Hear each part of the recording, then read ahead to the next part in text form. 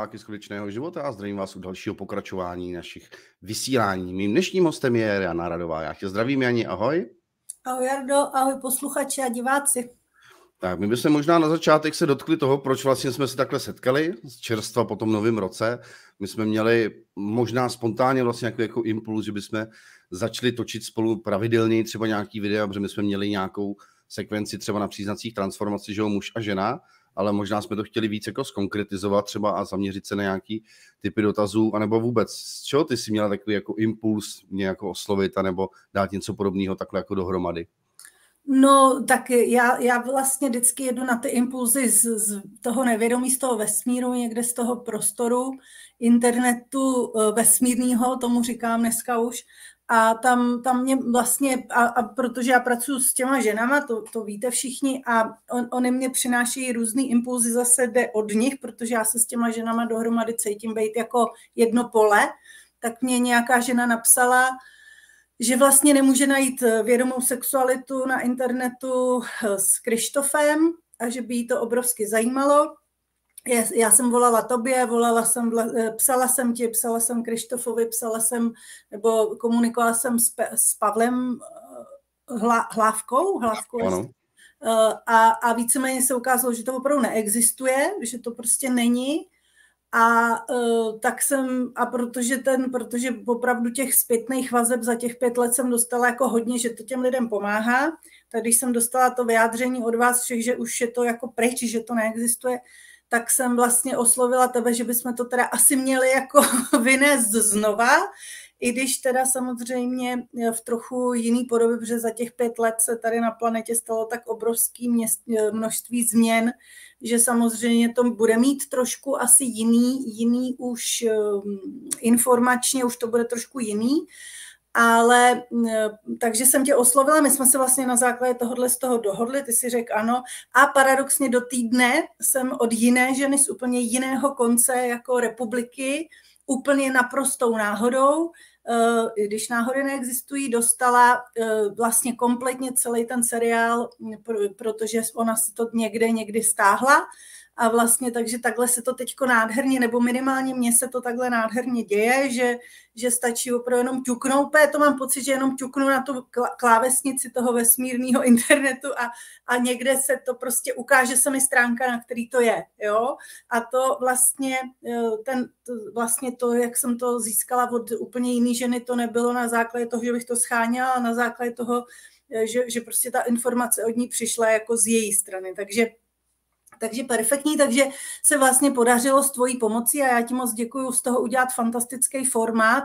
Vlastně Jitka nám s tím nádherně pomohla a, a klobouk dolů, fantastický formát, který už teď vysí na YouTube a e, byla jsem nadšená z toho jejího jako nacítění se na to, na to, na to obrazový, prostě perfektní a No a mezi tím teda už bylo upečeno, že my se do toho pustíme, no tak se do toho pouštíme, protože pak mi vlastně došlo, že skutečně ta, to informační pole se za těch pět let změnilo výrazně a že je potřeba nějaký ty informace z něj vyníst vlastně na povrch. No.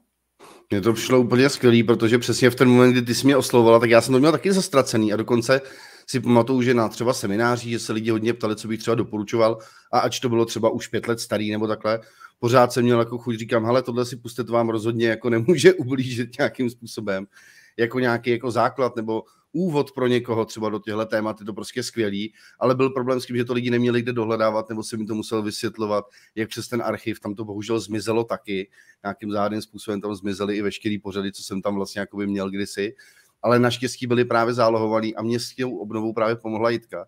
A v tu chvíli vlastně, kdy ty na tom nejseš úplně technicky jako, ne, že já bych byl nějaký úplně jako me, mega ajťák, ale pořád o trošku víc v tomhle jsem malinko jako napřed, minimálně třeba v rámci těch kontaktů, tak úplně spontánně právě zase náhodou na mě zrovna vyskočila právě Jitka, protože říkám, já se s ní komunikoval to už je taky roky, nebo nějakou dobu a poprosil jsem jí vlastně, jestli by stejným způsobem jako pomohla mě a ještě jednou jí moc krát za to děkuju, protože vlastně všechny pořady, které já mám z archivu vlastně vysílače, což bylo jestli se nepletu, kolem 500 pořadů, nebo, nebo 300, ne 300, tak vlastně jako přesně z toho vystřihala tu hudbu, aby to mohlo jít na ten YouTube a to ještě jednou zpětně moc krát díky, protože to já bych do toho prostě nešel. Jo. Ta, ta, ta přidaná hodnota toho, že to na ten YouTube dám, je sice skvělá, ale jako ta představa toho, že bych to sám dělal, to upřímně to mě za to jako nestálo, protože to je strašná práce. A zrovna takovou, kterou fakt jako nemám rád, jo, nějaký stříhání, úpravy a hlavně to neumím, takže takže za tohle ještě jednou takhle zpětně se moc krát děkuju. Jo, jo, eh, jsou tady, jsou jako cítím, že tady začíná být taková armáda andělů, který opravdu, protože Určitě. vstupujeme do vodnáře a přesně jak říkáš sami, bychom to rozhodně nezvládli, já prostě bych nezvládla jako vůbec nic sama ale vlastně vidím ty andělské duše kolem sebe, myslím teďko, já je vidím teda i, i, v těch, i v těch eh, eterických podobách, ale i v těch lidských tady jsme a najednou, najednou se to aktivuje všechno a strašně rychle se to všechno děje a, a přesně jako ta Jitka Jitka přispěla obrovským dílem k tomu šíření, takže fakt klobouk dolů a děkujeme. Už se tady lidi ptají, kdo je Jitka. Já to bude nějaký, něco jako byla u pana Kolomba, paní Kolombová, víš, nikdo nikdy neviděl, všichni o ní slyšeli. jo, jo, ale já vlastně taky nevím, kdo je Jitka, protože eh, vlastně se neznáme osobně, jenom jsme spolu komunikovali přes, přes počítačové sítě. Já to mám stejně, ale ono to je i podobně, jako když toho člověka opravdu jako znáš celý život, jo, ale nikdy mě jako ne, neprosila o nějakou pomoc nebo něco takového, naopak, jako když já jsem to někde nadhodil, tak se sama ozvala, protože ty se dotkla přesně té roviny, těch andělů vlastně v těch lidských tělech a to je vlastně jako taky zajímavý v úvozovkách si, si se toho dotknout, že spousta lidí to čeká jenom na té jemnohmotné úrovni a ty tě mají pojmenovaný, mají tam tu hierarchii, ke kterému se teda mám jako obracet nebo tohle. A přitom v jejich životě třeba kolem nich tři, čtyři takovýhle anděle jako se vyskytují a vlastně o tom ty lidi nemají ani tucha. A jenom kdyby si to jako uvědomili, že mají ty lidi nějakou takovouhle jakoby až andělskou hodnotu v daný moment pro toho člověka, tak by to taky v tom životě hodně změnilo. Že? Kolikrát máme opravdu někde na blízko u sebe. A to nemusí být člověk, který je jenom, že nám podá tu pomocnou ruku. To může být někdo, kdo nás vysloveně stahuje do žumpy. Jako. A to je taky kolikrát anděl té transformace. Řeknu, hele, to je váš nejlepší učitel, a se s kým setkávám často v těch sezení. Řeknu, jako rozhodně si všímejte toho, co mezi váma probíhá, protože to je mistr, evidentně, který jste potkali. Může to být takto jako braný. Jak mně to přijde fakt jako fascinující v podstatě, že vždycky v ten daný moment a tou synchronicitou, těma náhodama, které vlastně neexistují, tak co se vlastně stane, se stát má a co se stát nemá, to se prostě jako nestane, i kdybyste se stavili prostě jako na hlavu, pokud to hmm. nepodpoří, jak se říká vlastně jako by ten duch, tak to je skvělý.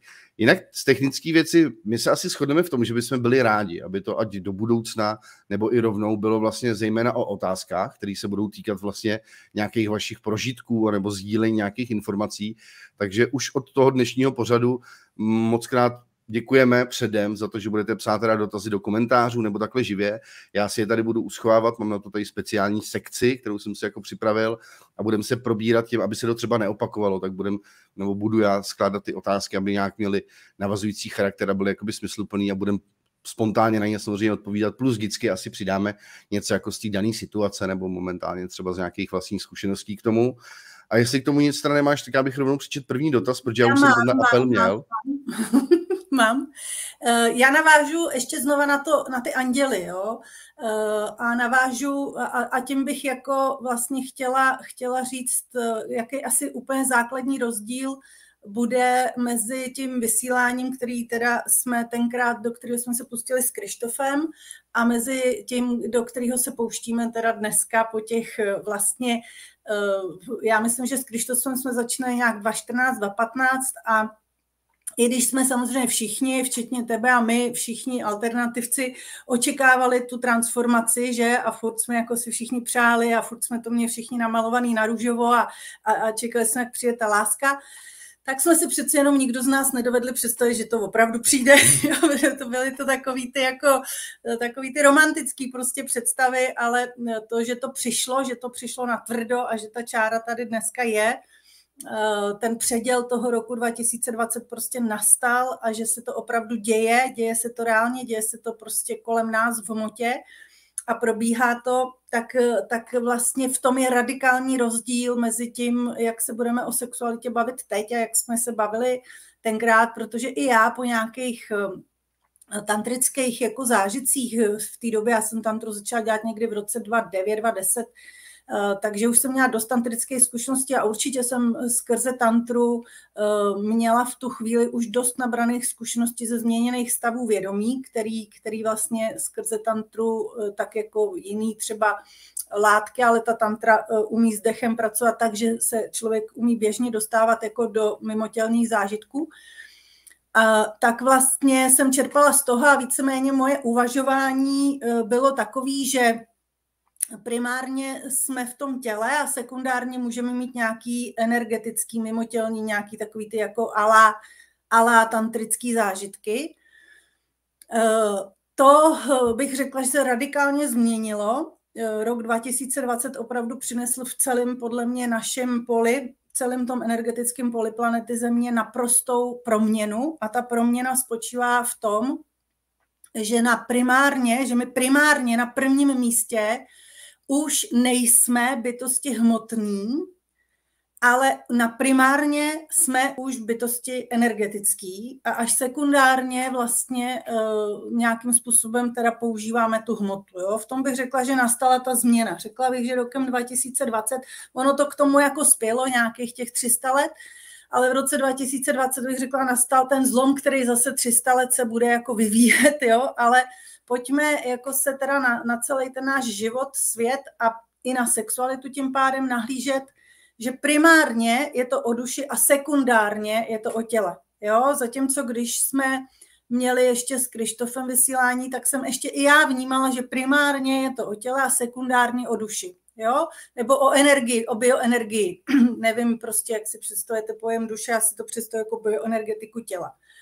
A No a teďko vlastně, takže, takže když budeme mluvit o vědomé sexualitě nebo o sexualitě, my jsme vlastně ten pořad nazvali sexualita Eh, ducha s hmotou, tak opravdu eh, se pokusíme připustit, že, že to, co se spojuje, když se spojuje muž a žena, eh, jsou vlastně ty, ty polarity, je ta energie, je to plus a minus, je to vlastně, jsou to ty dvě různé energie.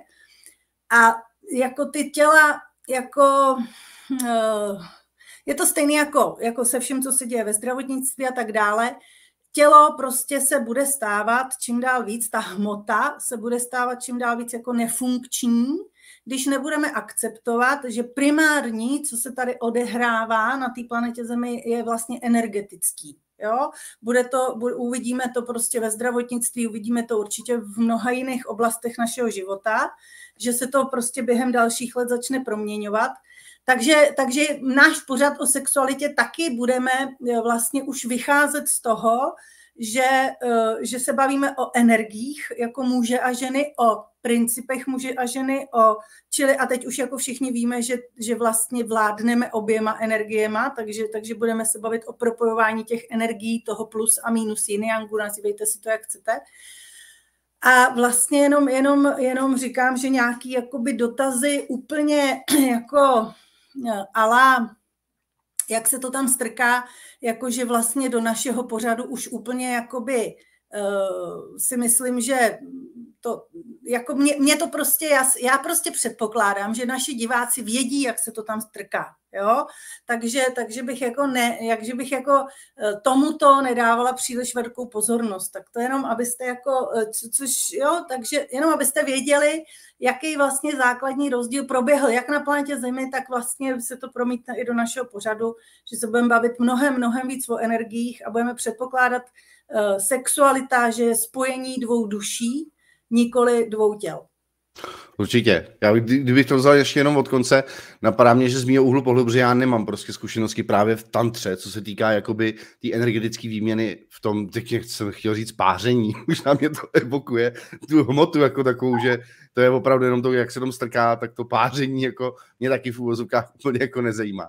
Ale spíš mám třeba zkušenosti z toho, že já tu i sexualitu jako takovou vlastně jako vnímám o žití vlastně jakoby s tou ženou, že on je to jakýkoliv typ v podstatě jakoby kontaktu a soužití, že ta sexualita mám pocit, že tam musí být vždycky obsažená pochopitelně, když se potkají dva jakoby protiklady, tak tam po každé vlastně něco vzniká, na jakýkoliv vlastně jakoby úrovni, po každé to ovlivňuje nějakým způsobem člověka, v tom případě, jaký má vztah samozřejmě i k té svý animě třeba, jestli mu to funguje, tak pak mu to může fungovat i u těch ostatních ženách, jak má zpracovanou ženu, vychází z toho, myslím, i Freud, nebo se hodně o tom mluvilo, že ta sexuální napětí vlastně, jako že chceme, toužíme potom kojtu s tou, s tou maminkou nebo tohle, že ono to je vlastně obsaženo úplně jako ve všem v tom životě, že nejde čistě jenom o ten jako, o to, co probíhá v posteli, často mimo postel, že to se, taky si myslím, že to by bylo čistě jenom zúžení, že, že by si lidi mohli myslet, že se bude bavit jenom jako o těch postelových aktivitách a nic jiného, že se toho jako netýká. Myslím, že se toho týká velice.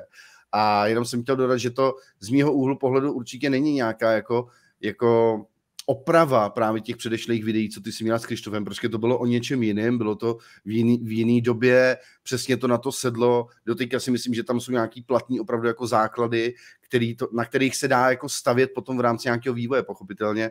Krištof se taky vydal nějakým směrem a kdybyste dneska točili s Krištofem, taky by to bylo o něčem jiným, než zase před těma pěti lety, jo? že to není, že bychom ho jako vyměnili jako vadný kus, aby si někdo nemyslel, že jako no s Krištofem už ne, ten není tak vědomý, dáme to s Jardou. Jo, aby někdo neměl takovýhle pocit. A já bych rád, abych ho nemusel jako cítit sám jako na sebe, že jsem byl jako vyměněn, že, nebo Krištof, že byl vyměněný, že to s tímhle nemá nic společného. To se teda přiznám, že tohle, to, co si právě myslel, mě vůbec nikdy ani trochu hmm. nenapadlo, že mi skoro mapuje, že by se na to mohlo, jako, tak to souhlasně, to ani nenapadlo, že by to někoho mohlo napadnout. Tak proto tohle zmiňu. Ale já myslím, že to je fajn. Já jsem i použil to, když jsem dělal nějakou jako nechci říct reklamu, ale když jsem mluvil o tom, že spolu budeme právě takhle vysílat, tak díky bohu se toho právě už divačka chytla a rovnou mi poslala vlastně jakoby dva krátké dotazy, tak bychom tímhle mohli začít, jo? Mm-hmm. OK, takže ahoj, prosím, měla bych dotaz, nebo spíš by mě zajímal názor Jany Radové na můj zážitek po orgazmu. Podobných zážitků blízké smrti, jak, jak ho lidé popisují, když jsem tedy, tedy neviděla tunel a světlo na konci, ale neskutečně zářící zlatavé světlo po celém prostoru, mě obklopující a bylo tam ticho. Takový krásný klid. A pak jsem viděla, že si lidé žijí, milují se a hádají se. Já to jen sledovala bez naprosté potřeby to nějak soudit a komentovat. Těžko se to popisuje. Tak Petra se mě ptá, jestli by se k tomu mohla nějak třeba jako vyjádřit nebo to popsat? Nebo... Tak Petra krásně teda ne, netušíc, pravděpodobně takhle funguje vesmírný internet, nám poslala i hned dotaz právě do toho nového levelu. Děkuju moc. Je to tak, je to přesně takhle to je, přesně o tom to je. Řekla bych, že, že pokud se podaří teda do, dosáhnout toho orgazmu, eh, který je lidský, a ne zvířecí.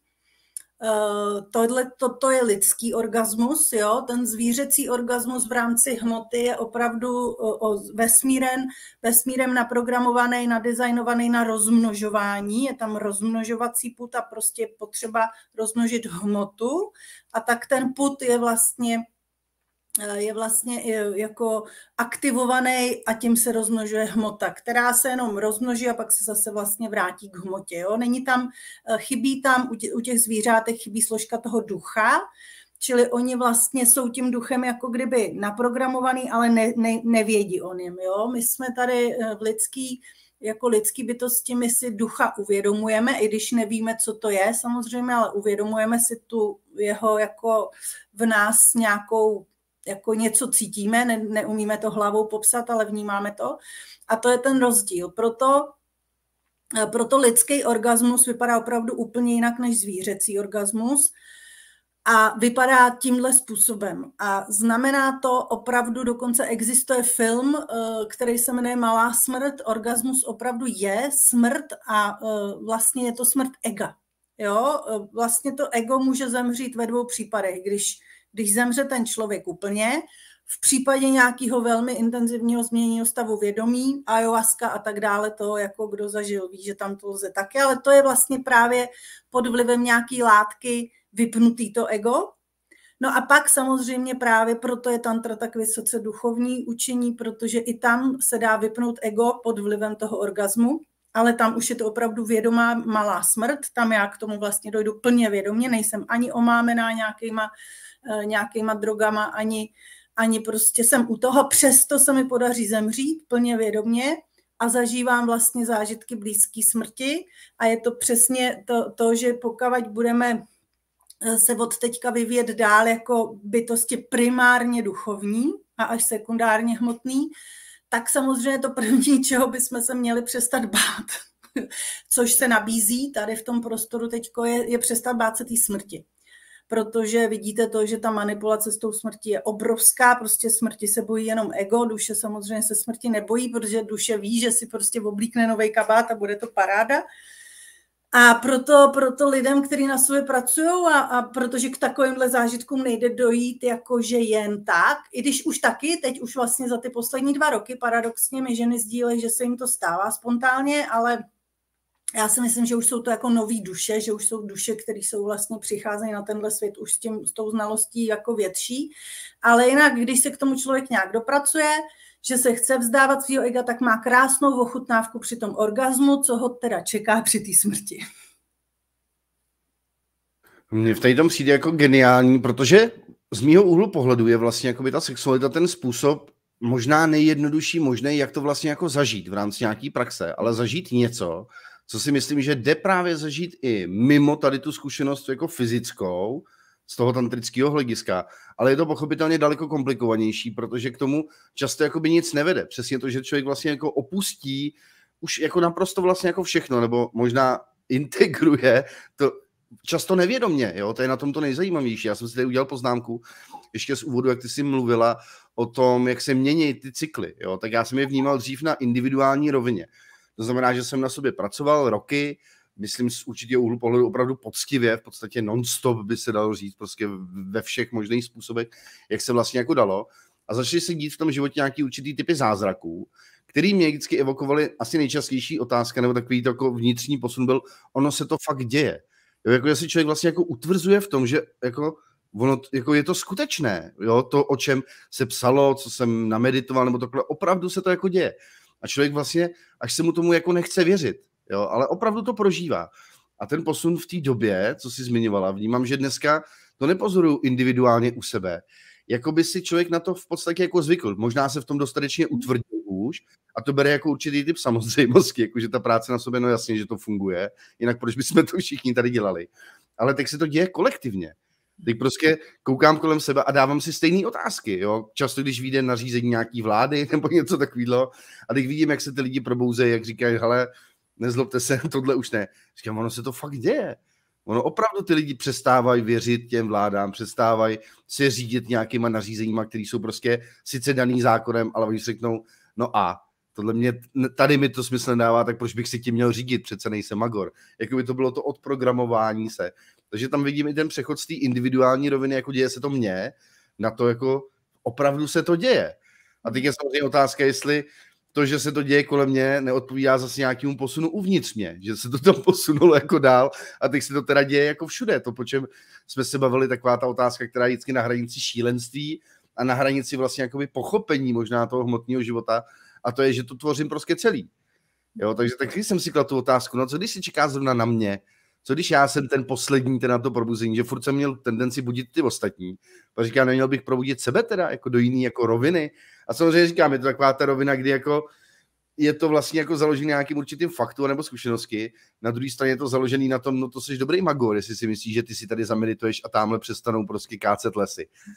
Ale, jo, je to takový, jako řekl bych, taková hranka, jako tenký let, kde se člověk vlastně pořád pohybuje v rámci nějakého duchovního učení, kde je pořád napůl blázen a vlastně jako napůl se dotýká nějaké skutečnosti, jako opravdový, jako toho, že takhle skutečně ten život nějakým způsobem funguje. Je to jenom pro mě jako vsuvka. To, je to tak a uh, vlastně je to to, že když, že přes, já jsem to měla velmi podobný, že přes nějaký obrovský problémy jsem hledala tu pravdu, načítala, zjišťovala, přesně jak říkáš ty, ze všech možných sfér. Eh, jakmile jsem se něco dověděla, okamžitě jsem to šla praktikovat, i když to nefungovalo, opustila jsem to, šla jsem hledat jinam a tak dále. Opravdu jakoby jsem chtěla, já jsem tu pravdu prostě se chtěla dovědět, jo. A protože to zatemnění třeba v mých 30 letech bylo jako maximální. Měla úplně jako, úplně jako prostě temno. A eh, no a právě, právě přesně, a potom se mi to začalo dít, přesně jak říkáš ty, po, po velmi dlouhý usilovný práci se mi to začalo dít a já jsem opravdu vlastně to, co jsem dostala jako návod zvenčí, tak když se to odehrálo uvnitřně, tak, to, tak se z toho ta pravda vlastně stala, protože, protože ty informace korespondovaly s mým prožitkem. Eh, pak jsem přesně si na to víceméně zvykla a začala jsem to prožívat jako standardní jako život, že se mi dějou takovýhle věci, už jsem přestala mít to jako wow a aha efekty a, a i, to, i tu pochybnost, jestli jsem normální, prostě víceméně mě to vešlo, eh, odvedlo od společnosti, abych to nemusela konfrontovat s těma, co to za normální nepovažujou, ale pro mě ta vnitřní pravda jako obrovsky se posilovala. A já si, tak, já si myslím, že my jsme jakoby jednotlivý buňky nějakého organismu A myslím si, že jo, že pokud pokud já si nastavím to fungování samu, sama sebe jako v, ve, ve, vlastně v režii vesmírného principu, protože eh, vnímám, že tady nejde o nic jiného, než vlastně se vrátit k principu, na kterým to tady celý funguje a který jsme opustili. A pokud já nastavím jako jedna buňka toho organismu, ten, ten princip vnitřní v sobě, tak je úplně samozřejmý, že se to začne jako uzdravovat kolem mě, protože to má úplnou logiku, protože tou buňkou začne opravdu jako proudit životní energie a ona vlastně léčí ta životní energie ty buňky blízko mě, jo. Takže, takže opravdu o tom jsem dneska přesvědčená, že že opak je pravdou, že, že mm, než co, když já si právě jako kdyby, jakoby to srovnám, já ani nemůžu si vylečit, ale když se narovnám do těch principů vesmírných, které tady fungují, jsou velmi jednoduché, ale když se do nich jako postavím a narovnám, tak je teprve to, co dělám pro vnější svět funkční a začne se ten vnější svět eh, měnit. Ale když budu jenom opakovat to, co jsem si přečetla v těch knihách a nepostavím se do toho toku principiálně, do toho toku vesmírných energií, tak to vlastně funkční nebude, i kdybych napsala deset knih a prostě o, jakoby osvěcovala informacema tisíce lidí, tak protože já nestojím v tom průtoku, tak vlastně to není, není jako nezáří, to není to zářič, jo. Takže s tím naprosto souhlasím a uh, myslím si, že i touhle jako asi my máme v tom takovou tu, já jsem taky takový víc chlap než ženská, takže prostě mám tu usilovnou, tu invazivní, prostě dokavať se to jako, uh, dokavať nedostanu ty informace a ty výsledky, tak to nepustím tak vlastně tak vlastně si myslím, že nás to dovedlo teda k tomu, že jsme to přijali, že to tak opravdu jako funguje a vlastně nám to připadá přirozený. Ale zároveň vidím, že za, mno, za náma, mě je teda těch 50, že jo, takže za mnou jde další generace 30 letých, který víceméně dneska už i 20 letých, mám tady prostě krásný setkání s takhle mladýma ženama, eh, který už jsou vlastně nastavený. Oni už jakoby přišli jako s mnohem menším zatemněním a s mnohem menšíma pochybnostma, a, a tím, pádem, tím pádem nemusí procházet tím třeba jako ty nebo já. A když se vrátíme k té sexualitě, tak právě tady mám, je to nový, je to opravdu, fakt bych řekla tři, tři roky. Mám tady skutečně ženy, které si žijou nějaký svůj úplně prostě život, jak je to naučili rodiče, známe to všichni, a pak mají právě ten sex s nějakým jako chlapíkem, do kterého se, kterýho třeba ani vůbec neznají. Prostě představ 120-letá holka jako přesně jako celá šťastná, že nějaký úžasný tady kluk, jako všech, takový to, co má, má za mladá, jako nikdo se ve 20 nešťourá v tom, jestli jako jaký on je kvalitní nebo nekvalitní, duchovní nebo neduchovní, prostě mě hrozně přitahuje, jak ty se s ním vyspat a, a, a je to paráda, prostě je to tam autentický, je to pravdivý, je to čistý, je to takový to a Bůh a vlastně mimotělný zážitek jako prase, jo, třeba opravdu s někým, eh, s někým, koho vlastně ani neznám. Jo? A paradoxně je to přesně, protože samozřejmě ta, ta, ta nejvyšší eh, vlastně energie vesmírná je, je láska, je to energie, není to emoce nebo cit, je to energie prostě. A samozřejmě, že v tuhle tu chvíli, kdy já se klidně z naivní jako mladickosti tady potkám s nějakým chlapem, který mě obrovsky přitáhne, znamená to, že tam komunikují spolu ty duše, ty duše se potkají, právě teď se bavím o těch energiích, já ho vůbec lidsky neznám, ale prostě šťastně se s ním vyspím a bum, má mimotělní zážitek eh, vlastně opravdu jako eh, velikosti, velikosti nejvyššího pomalu tadyhle na nebe vzetí. A často mi ty ženy říkají, že, že třeba ani se s tím klukem nějak třeba ani nezačali chodit, jo? ale že vlastně tenhle ten zážitek při tom sexu je aktivoval na duchovní cestu, je aktivoval e, prostě na to sebeuvědomění, na to prostě opravdu vlastně ucítit tu svoji duši a velmi takhle rychle, takhle raz, dva, tři, ale, ale bylo, protože u toho sexu vlastně došlo k tomu, tomu spontánnímu orgazmu, k tomu, že ona se odevzdala šťastně, on tam teda šťastně jako přišel, že jo, oba si to užili a vlastně otevřelo se jim nebe. To si myslím, že opravdu třeba jako za mýho mládí rozhodně ještě nefungovalo, že tam jako byly dobrý sexy, takhle jsme to sdíleli, ale neděli se tam tyhle duchovní jako věci, že při hodně dobrém sexu se někomu otevře jako opravdu ta duchovní rovina. Jo, ma, úplně, maximálně, takhle prostě do kořán. Akorát, že, se, že, se to, že, že, že to potom probíhá úplně stejně, jako když jdeš na EZO seminář nebo si vemeš drogy, že se to potom zase zavře a jako a tak a co dál, jako jo, a teď on je to úplný debil a teď já jsem si s ním nerozumím a teď tohle tamhle, ale ty dvě duše prostě ukázaly tu dimenzi, do které se dá jako pokračovat. Jo? A většina, většina těch lidí, protože ty to víš, já to taky vím, jak je to obrovsky silný, většina těch lidí má touhu pokračovat, jo? takže potom vlastně pokračují nějakou svojí cestou, ale mnoho žen mi teď sdílí, že tenhle ten zážitek je inicioval opravdu sexuální zážitek bez, jako bez, bez vztahu. Jo, že to není, jako neříkám, že to je jenom, ale není to, už to prostě, už to není podmínka, jo. Už je to jako, že ta duše si to připravila, ty dvě duše se potkaly, Bůh, výbuch, pak se jako v hmotě rozešla ta duše si jede dál. Mně přišlo zajímavé, jak jste ji popsal, já jsem si vzpomněl, bude to znít divně přes partnerkou, už jsme 13 let, ale já si pamatuju konkrétně jeden tenhle jakoby styk, ten zážitek, co jsme spolu vlastně jakoby měli. A byl výjimečný v tom, že jsem mu nerozuměl, že vlastně jako opravdu potom, já jediný, co mě furt jako lítalo hlavou, je, co to bylo protože jsem zažil něco, co jsem vlastně jako nikdy nezažil do té doby. Jo, a myslím, že ten rozdíl v té sexualitě je o tom, že člověk to jako chápe, protože ví, že je mu dobře, protože dělá tohle a tam je ten bod G a při téhle poloze ho nebolej záda a umí se uvolnit, že to je jako opravdu jako racionální, možná to zvířecí, co si vlastně popisovala. A tady to nebylo o tom, že já bych o tom, já potom neměl vůbec žádnou zkušenost. Jo. Byl jsem po nějakým čerstvým jako fakt probuzení, ale o tomhle se neměl vůbec ani tucha.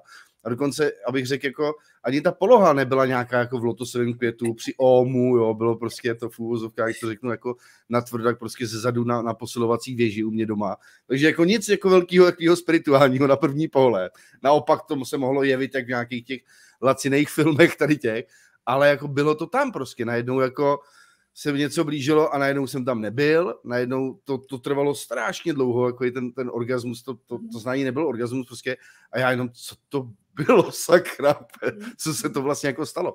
Jo, v tu chvíli mě to utvrdilo, že to je ta partnerka, že to bylo z té lásky, že to je hmm. vlastně jako jiný, ale to je zase jenom nějaká možná povrchnější rovina, kdy tomu člověk třeba úplně jako nerozuměl. A k tomu psovi, nebo k té zvířecí vlastně jakoby sexualitě, tak já jsem vůbec nevěděl, že mi budeš takhle jako nahrávat přesně do těch věcí, které teď vlastně jako žijem.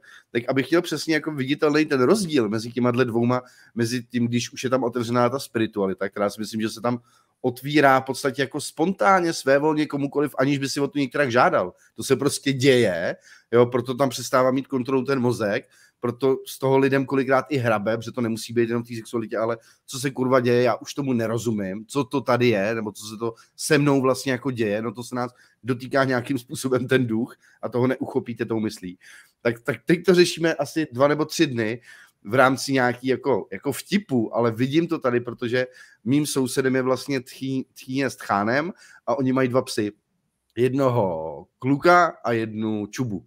Jo? A čuba hárá a pes je z toho úplně v hajzlu. Už je úplně hubený, vůbec nechce a on pořád chodí v tom pohybu, jako, jako kdyby byl na ní. Vlastně. Takže, a to je přesně ono, jo, tak na to koukám a tam úplně nějaký spirituální přesah nevidím. Tam vidím čistě hmotný, vysloveně magnetismus, který ho může stát až v podstatě jako život, protože vůbec na nic prostě jako nemyslí. Vůbec ale na nic. Je tam čistě stoprocentní přítomný put od té ženy, protože nevím, jestli to je tím, že je jiná rasa, to bych nechtěl být jako, jako psorasista, jestli by se to tak dalo říct. I když jsou si podobný, jedno je stavbulík a druhé American Bull, takže vlastně jako jsou si podobně nějak kdysi jako vývojově, tak ta ho zase odmítá a jí to otravuje. Jo, to se před ním schovává nebo po něm vyjede, vyjede a on je z toho prostě naprosto šílený. Nic jiného ho prostě nezajímá. Ani jídlo, ani pití, prostě jenom tady to. Jo, že tam teď, jak si z toho dotkla tý zvířecí, tak ano, teď tomu jako rozumím. Takhle to jako vypadá, že Možná si myslím, že, že by to bylo u těch mužů, že myslí jenom tím spotkem, jo? že si jim přesune to vědomí jenom do toho penisu a nic jiného tam prostě jako není kolem. A je to tak, e, tohle je naše forma. My jsme z této formy jako uplácaný, jo? Ta, ta je jako nějakým způsobem ověřená vývojem nějakým, prostě nebudem se tady detailně bavit o, o, o tom, jak to ten vývoj probíhal, ale že probíhal o tom, o tom žádná a probíhal furt jakoby na úrovni té hmoty a ta úroveň té hmoty je opravdu, uh, přesně jak si řekl, ona je magnetická. Všichni víme, že hmota jako se strom vyroste, rozkvete, plodí, žije a schněje. Ta, ta hmota má prostě výhradně, opravdu výhradně cyklický jako charakter.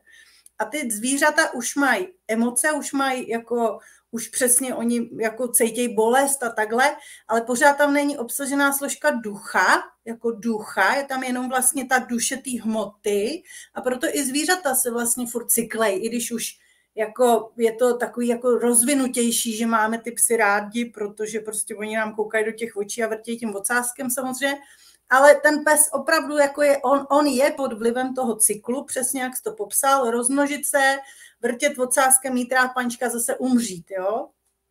A, a ten duch, jako kdyby, to je vlastně lidská, výhradně lidská složka, kdy z toho nebe vlastně do nás stoupá, ta, nebo stoupá, klesá ta energie toho ducha, neboli přesně, jak je řečeno v Bibli, že je to láska, to je prostě, rov, tam je rovnítko, to je prostě energie, to je, je energie, to není jako, my to všichni máme furt spojený s lidskou kvalitou a to není lidská kvalita, to je prostě rizí, velmi silná energie, dejme tomu oheň, který vlastně prostupuje do toho našeho těla.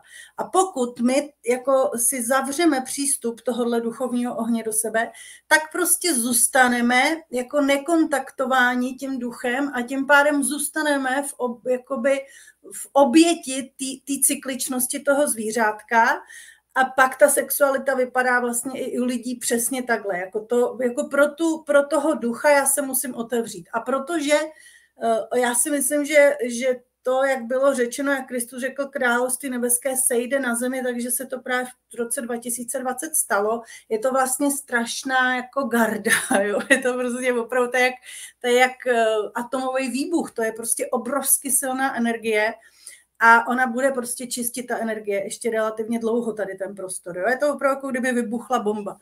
A vlastně ten, kdo se na to ne, ne, ne, nenapojí, tak víceméně opravdu se jako zůstane v tom cyklu, čili, čili jako v hmotě vyrostá, v hmotě zase, zase jako kdyby zanikne, jo. A protože už, ale protože prostě si myslím, že v plánu vývoje lidstva je prostě tahle rovina, že opravdu se budeme muset naučit pracovat s těma, s těma energiemi, ať budeme chtít nebo ne. A teď mluvím o generacích, nemluvím o nás jako jednotlivcích tady a teď.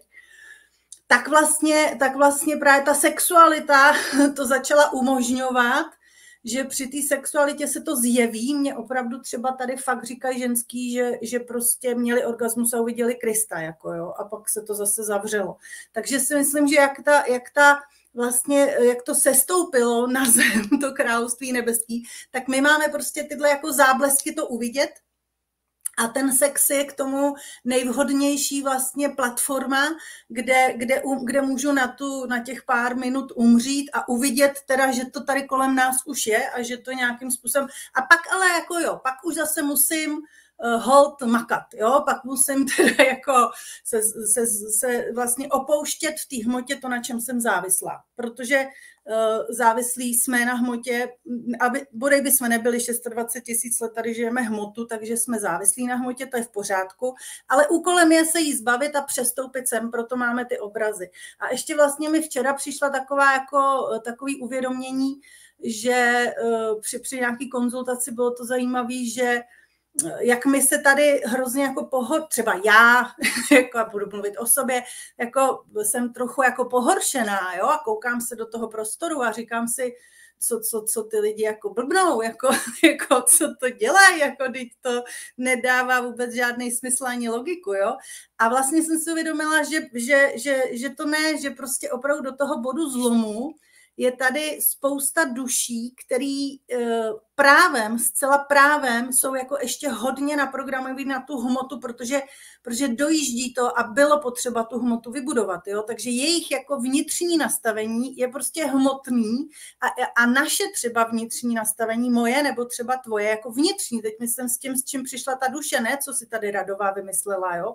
Je, je prostě už jako do té budoucnosti. A že to už, že to teď jako kdyby nemůžeme soudit, že, že je tady spousta těch lidí, kteří vybudovali tu minulost, ze kterými dneska těžíme a spoustu lidí, kteří jsou připravení jako pro budování té budoucnosti. Teď jsme se vlastně dostali opravdu do toho, kdy se tady míchají tyhle ty dvě jako eh, vlastně ty dva tábory a je to v pořádku. Já si myslím, že je to v pořádku a že ty duše, který, který potřebovali dotáhnout tu hmotu jako do, do, do, do, do puntíku, jo, takže vlastně skutečně v klidu odejdou a třeba se inkarnují potom už taky jako, ale my, my prostě, co jsme už jako se narodili s tím jako s tou jako s tím naprogramováním na to, že se budeme žít víc v těch energiích, no tak máme za úkol vlastně se dívat do té budoucnosti a budovat svět těch energií a nechat tyhle ty, eh, ať, a poděkovat jim a nechat je prostě, nechat si to, do, ať si to jako dojedou ve své ve svý režii, protože jsou to taky hrdinové, kteří vybudovali hmotu. Jo?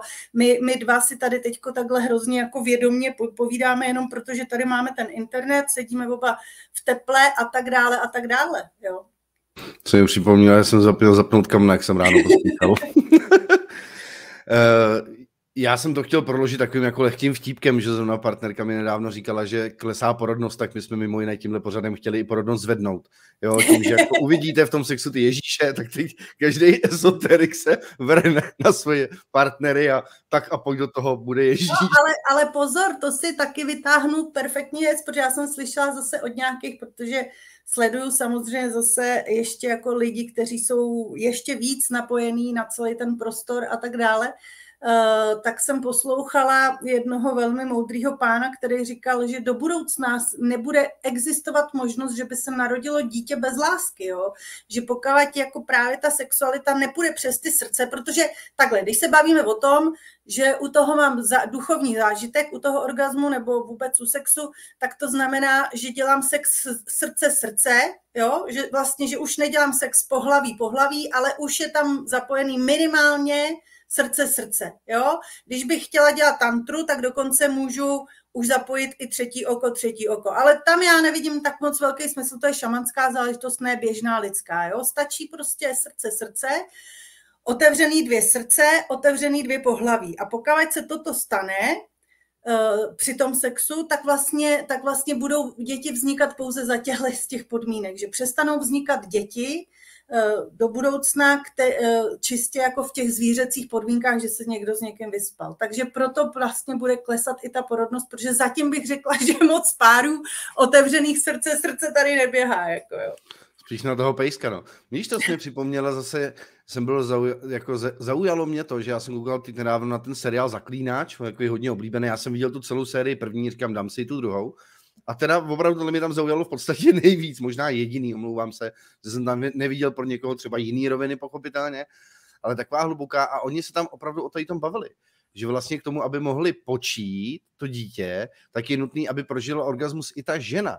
Jo, protože oni to brali jako danost, jakože a víš, že pok- a, a seš po sexu spokojená, je to tam, ne, omlouvám se, byl to, byl to film, byl to film Poslední souboj, jo, ne, nebyl to, omlouvám se. A bylo to tam přesně takhle jako daný, že opravdu se na to ale poukazovalo velice často. Bylo to na takovým jako středobodem, že furt se to točilo kolem toho a přišlo mi to vlastně jako zajímavé se zamyslet nad tím, proč vlastně jako je ten ženský orgasmus, protože ono to jakoby vypadá, že vlastně není potřeba, že jo. Ale, jo, Vypadá to tak? No, a... Pro, pro zvířátkovské rozmnožování není potřeba. Přesně. A zrovna včera na mě vyskočil nějaký článek, kde to jedno rozebíral. Já jsem ho teda nerozkliknul, byl to jenom takový ten jako odpis, že se právě tím začínají jako některý, já nevím, jestli vědci nebo kdo jako zabývat.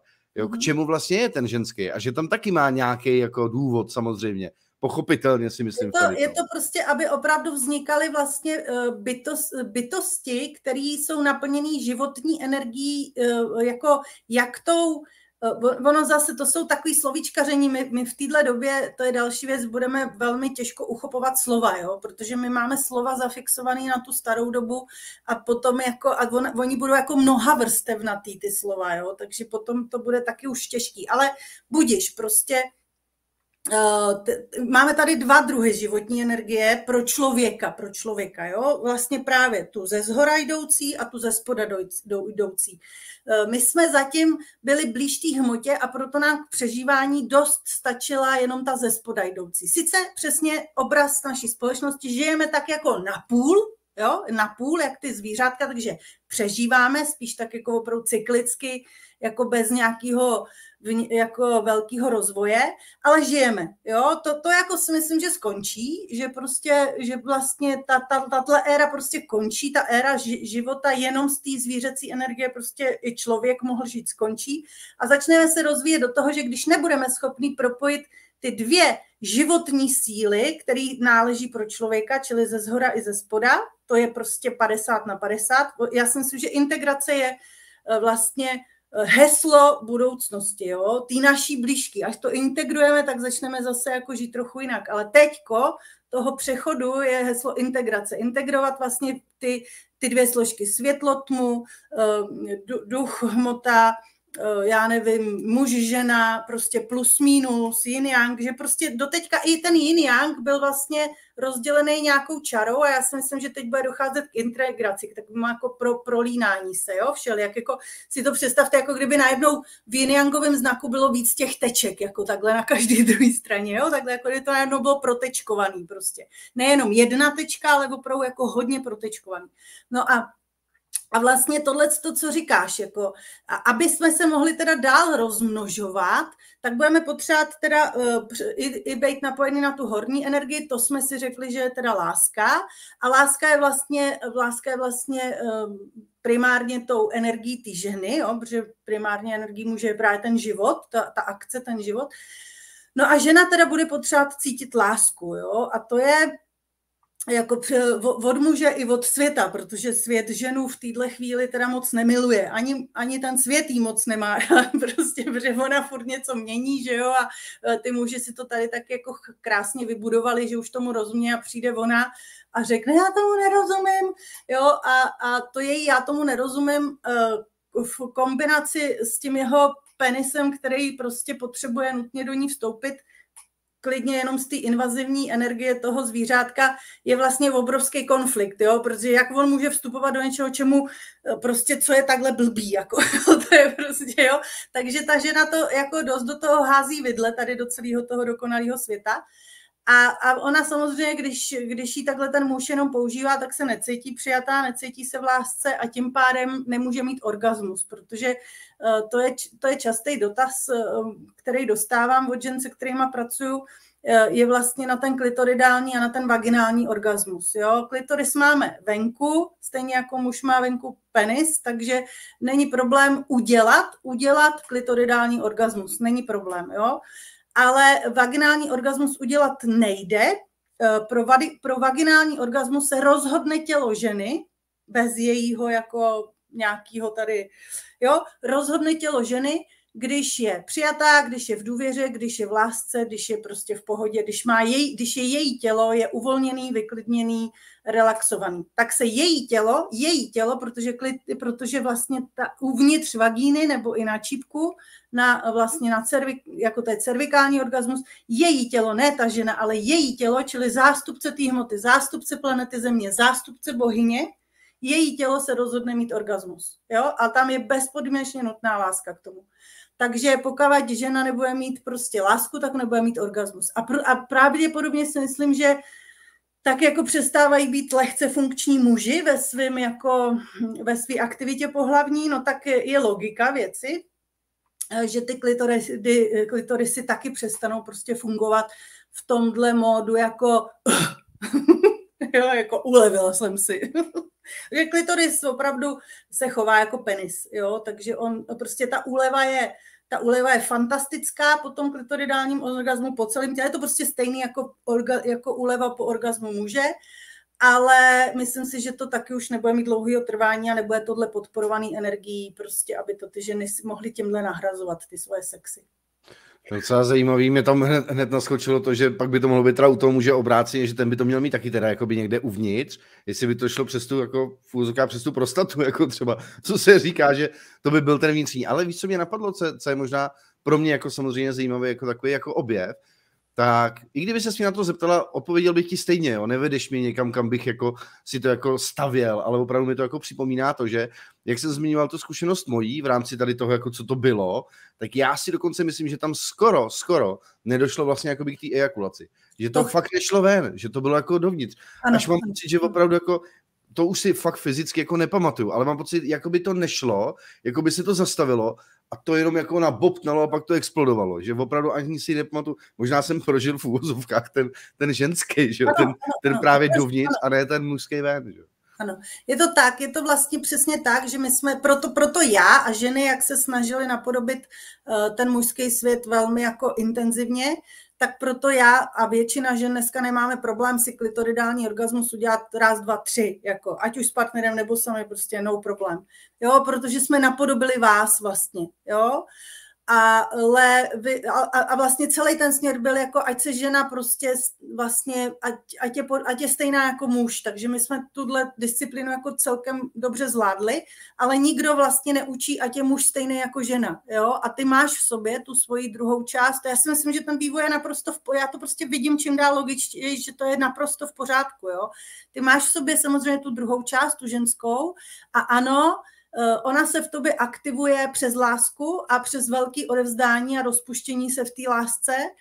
A taky právě je to běžná tantrická praxe, protože tantra vlastně tohle napodobuje. Ono by se to vlastně mělo jako dít primárně mezi lidma, že se obrovsky milují a je tam to plus a minus a dějou se ty věci spontánně, tak jak se to spalo tobě. A protože se to přestalo dít, protože tady došlo k nějakému zatemnění, velkému lid, úpadu, úpadku prostě jako v oblasti vědomí, no tak to začalo se jako alternovat nějakýma učeníma, což je například ta tantra, která to umí jako kdyby naučit, jo, ale není tam ta, není tam ta přirozená spontánní láska muže a ženy, který se potkali a milují se jako, jako bytosti, jako dvě lidi, dva lidi, ale můžou, eh, dá se to eh, naučit, a muži to běžně v, pra, v tantře, prostě tantrici tuhle tu praxi, kterou ty popisují, znají, že mají vlastně orgasmus bez erekce a ejakuace. Jo? To je prostě běžná tantrická praxe. Jo? Jenom, uh, jenom to bez toho života jako nedává úplně smysl. Jo? Proč, proč jako tak jako fajn, ale, ale k čemu to je? Vlastně by to celé mělo výst k tomu, abych to užil, teda kdybych byla muž po ženě, se kterou tohle budu zažívat spontánně. Jo? Jinak, jinak v té tantře já nevidím žádný velký význam, že se to nějaký muž naučí. Jako, no, tak jako prima, tak já jsem se taky naučila klitoridální orgasmus a prostě neběhám s tím po světě a neukazuju to, jak je to úžasný. Jo? Takže, takže ano, to si prožil přesně tu svoji druhou polaritu, která ano, vypadá tímto způsobem, že to je vlastně, že tam není ten výstřik, není tam ta invaze, není tam, ta, není tam to prostě to mužský, to primárně mužský, ten mužský princip jako toho bh, ale je tam to rozpuštění se, což je ten ženský princip. Takže ano, je to tak. Jako jsou to věci, které jsou zcela běžné, pokud bychom se napojili na, na vyšší princip, na kterým je celá tato planeta jako postavená. Jo? Pokud jsme z toho principu jako vychýlený někam stranou a ne, nejsme prostě v tom proudu toho, eh, těch zákonů, který tady platí, tak to vlastně tak to nemůžeme zažívat. A protože tohle to odklonění trvá už tak obrovsky dlouho, tak jsme na to prostě zapomněli. Ale jinak je to zcela běžný.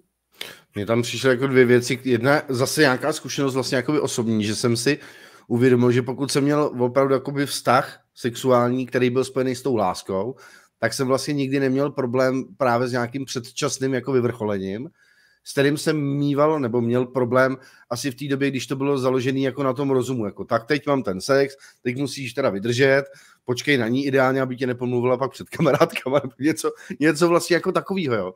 A když nám opravdu ta láska, tyhle věci zmizejí, samozřejmě na to člověk prostě jako nemyslí. A nemyslím, že by to bylo tři hodiny bum bum bum, ale bylo to podle mě akorát pro oba, jo, že to bylo přesně jako, že to je to propojení, že ani tam nemuselo třeba dojít paradoxně, jo, ale bylo to prostě jako, nebo došlo, nebo najednou, jo, to, co lidi taky mají jako, jako velký zázrak a taky mám pocit, že se tomu potom tak jako učej, počkej, počkej, jo, ještě vydržím chvilku. A, a, a, a už a, a, a teď to zase posral, vole, a díl, jo, takový to, taky jsem si to vlastně jako uvědomil, nejenom, že by na tom nezáleželo, jo, ale vlastně se to nedělo ani. Jo, možná potom, jak to ustupuje, jak to prvotní zamilování třeba ustupuje, tak pak vlastně člověk začíná mít strach, že to partnera může ztrácet, pak mu na tom začne záležet a pak se začne třeba ten pr- problém teprve projevovat. Ano. Pardon, a ještě druhá věc k tomu, jak ty jsi zmiňovala takový toto, píu, jako ten, ten výstřel jako do toho prostoru. Tak já jsem měl během života kolikrát takový jako pocit, že, že toužím po dokonalém orgazmu. Něco jako, že se člověk jako opravdu jako vyvrcholí, ale jako ne úplně. Jako, že jako by tam furt něco jako chybělo. Určitá jako nenasycenost toho, toho odevzdání se, anebo toho zbavení se jako něčeho. protože to myslím logicky na úrovni toho, že se člověk chce zbavit nějakého tlaku nebo něčeho takového. Ale ve většině případů si myslím, že ten tlak nevědomě právě vytvářel ten duch.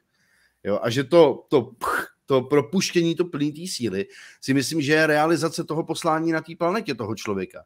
Že vlastně pokud on začne ve svém vlastním životě jako tvořit ve skutečnosti to, proč tady je a začne to dávat nějaký smysl a je to, řekl bych, v úvozovkách posvěcené tou synchronicitou, že se to děje jako v symbioze s tím životem jako takovým, kolikrát mimo ty představy, jak by to mělo být, ale prostě se to děje takhle a naplňuje to toho člověka, tak to si myslím, že je to puh, ale životní, který nemusí potom probíhat vlastně jakoby, jakoby v, tom, v tom sexuálním spojení. Je to, je to celé spojení hmoty a ducha, eh, je, je, je postavený na tomto principu, jo? protože duch eh, jako takovej, jak my si ho představujeme, jestliže teda já obsahuju v sobě ducha, jo, tak to není nic jiného než dech, dech, dech boží, jo, jako kdyby, jako kdyby já nemůžu jako člověk, jako lidská bytost, jako lidský tělo, jako v tomhle tom formátu, nemůžu obsáhnout božskou energii, protože by mě to seškvařilo na škvarek okamžitě, jo. Jo, to nejde, to prostě, to jsou zákony, jako to nejde, já nemůžu, proto je to k smíchu, když se někdo cítí jako bohyně, nebo je k smíchu, když celý ezoterický svět říká, já jsem Bůh, jako ve mně je Bůh. Ve mně je boží dech, jo, ale nemůže tady být uh, jako ve mně Bůh, protože to je neslučitelná energie s hmotou, jako jo, ale a protože prostě Bůh a hmota se chtěli spojit, tak prostě používají ten dech, ten, ten, ten můj dech vlastně eh, je ta, teda ten jeho dech je ta moje duchovní, ta božská služka, to, to že mám v sobě toho ducha, jo. A on vlastně chce proniknout do hmoty. On proniknul na úrovni toho, těch vesmírných zákonů až do středu vlastně země, do středu Gáji, do její dělohy, protože ta skutečná alchymie, eh, četla jsem o tom několik knih, ta skutečná alchymie, ta skutečná se odehrává výhradně vlastně v jádru země, protože tam je tak obrovský tlak a tak obrovský teploty, že, že, že prostě teprve tam vzniká jakoby to ta, ty proměny těch, těch látek, různých chemických, různých molekul, různých atomů, ty proměny teprve pod tím obrovským tlakem uprostřed té země. Jo? Takže dejme tomu, že on potřeboval proniknout až do prostřed, aby vlastně oplodnil tu hmotu, tu zemi a aby se to tam aktivovalo jako duchovní jako činnost, která pak vyzařuje na povrch a pak jsou tady ty stromy, ty zvířata a tak dále a je tam vlastně v nich obsažená tato složka. Čili ten tlak, který vyvíjí duch, aby se dostal jak do mě, jo, tak vlastně do gáji, je musí být obrovský. A muž, tohleto mužský princip, tohleto vlastně uh, jako kdyby ten princip je podobný. Jo? Takže když by muž vlastně nestříkal svoje sperma pod obrovským tlakem, tak mě se nikdy nedostane až do dělohy prostě ne, tak by to tam někde teklo okolo jako a hotovo, jo, a prostě eh, ne, nedošlo by k tomu, k, přesně k tvorbě. V, v případě člověka je to tvorba. Já bych, já bych nedostala příležitost stvořit ve svém břiše dítě, kdyby mě tam duch nebo muž potažmo nenastříkal jako pod velkým tlakem to sperma. Jo? A, a protože prostě muž je nástroj toho výstřiku, tak je samozřejmě pod obrovským tlakem on celý. A taky celý život. Jo, protože prostě je jako jeho zástupce, jeho zástupce toho, kdo to tady bude prát do té hmoty, aby to tu hmotu prostě rozvíjela a oplodňovalo, protože mě to nejdřív teda jako oplodní, to, to semeno toho muže, na úrovni buněk, no ale za 20 let, za 30 let, tady přede mnou stojí fantastický muž, můj syn, prostě, který je, který je opět jako něco mnohem jako většího a lepšího, než jsme třeba byli my dva, než jsme, kterýho jsme stvořili, který jsme ho stvořili, jo. Takže ta tvorba je tam úplně jasná, jako jasný produkt toho všeho, ale na začátku to začíná jako těm, tím, že se spojí ty buňky, tím zvířátkovským, ale pod obrovským tlakem toho ducha, jo, toho ducha ve mně, čili toho božího dechu, takže, takže to dává jako obrovskou logiku a já se samozřejmě musím tomuhle z tomu procesu odevzdat a přijmout to a když jsem tvrdá jako kámen, chovám se jako chlap, tak to samozřejmě nemám sílu odevzdat se tomu a přijmout, protože ten obrovský tlak se dá přijmout jenom, že se pod ním rozpustím, jo. A proto, proto vlastně ten ženský orgasmus a ty ženy jsou teď jako hodně neplodný, protože já, já když se nerozpustím, tak nepřijmu toho Boha a zase to přijmu jenom na úrovni zvířátka. Jo, jenom prostě, že se tam to spojí, protože No, mechanicky. Hmm. Mě tam zaujalo to slovo tvorba, protože ono tam je ta orba, což je vlastně jakoby kultivace té hmoty, by se dal říct, ale zároveň je to tam ten tvor. Že to je uh-huh. jakoby ta orba toho, to, ale v té tvořivý uh-huh. rovině, jako té fyzický. Ten tvor to vidím jakoby opravdu, že, že to není kámen, není to hlína, jo, ač chápem nějakou samozřejmě jako živou energii taky, ale už je to jako na úrovni toho tvora. Opravdu jako někoho, kdo je schopen i tvořit, asi bych řekl vědomě, jo, to bude pravděpodobně ten jakoby rozdíl z mýho úhlu pohledu, protože nevím, jestli ta hlína si uvědomuje svý vlastní jako tvoření. To je asi trošku jako jiný level, ale... Říkám, tam, to... tam není ta složka toho ducha. Hele, ještě jinak vlastně ten duch oplodnil tu planetu Zemi do její dělohy, jo? do prostřed, do jádra. Jo? A, a vlastně celá ta, celá ta hmota, jako kámen, eh, rostlina, eh, zvíře, který podléhá těm cyklickým jako pravidlům, jo? Že, že furt je to jenom pes, furt je to jenom pes, milion let je to jenom pes, jo? tak vlastně tohle všechno vlastně je jako kdyby jako kdyby to bylo v břiše ještě pořád, jestli mi rozumíš. Jako kdyby, jako kdyby tím byla ta bgája těhotná. Ona si to jako furt, jako prostě ona to nikdy neporodí. Ona to jako vznikne, zanikne. Jako mě taky. Jako vznikne v břiše dítě, je to živý tvor, jo, a když ho neporodím, tak teda v lidském případě zemřu já i to dítě, čili jde to zpátky do gáji, jde to zpátky do hmoty, jo. Kdybych ideálně mohla jako přežít, kdybych neporodila, tak zemře to dítě, jde zpátky do gáji. Rozumíš? Jako furt je to jako v rytmu, jako dokávat je to v břiše mým, tak je to v rytmu, eh, prostě vzniklo to, je to samostatná jednotka, to, to dítě v mém břiše je úplně samostatná jednotka, ale dokávat ho neporodím, tak je furt pod vlivem planety Země, furt pod vlivem gáji a pokud nezvládnu ten proces toho porodu, tak jde zpátky. Jo? to dítě. Zatímco když ho porodím, tak to dítě se napojuje vlastně na, na otcovský princip na, na ducha a teprve tady se z něj stává jakože takzvaně ta duchovní bytost, jako teď nechci zase nějaký prostě rozpory, od kdy je embryo a tak dále. Jo. Samozřejmě je v duchovní, protože ho splodil duch, ale prostě jednoduše teprve teď je schopen tý, toho vývoje a té tvorby a toho růstu. Takže teprve, tak proto je člověk tak rozdílný i v sexualitě a ve všem, protože dokávat je to prostě dokávat je to pod, pod vlivem gáji, tak, tak to čerpá energii duchovní z jejího středu, kam ji uložil Bůh. To jako ano, rozumíš, tam jako nastříkal to svoje sperma ten Bůh a tam ono je a tam se to děje. Čili to je furt jako v rámci gáji tam zpátky. Ale pokud už jsem člověk, tak já už si vlastně za otcem jdu přímo, jakmile se zrodím a žiju.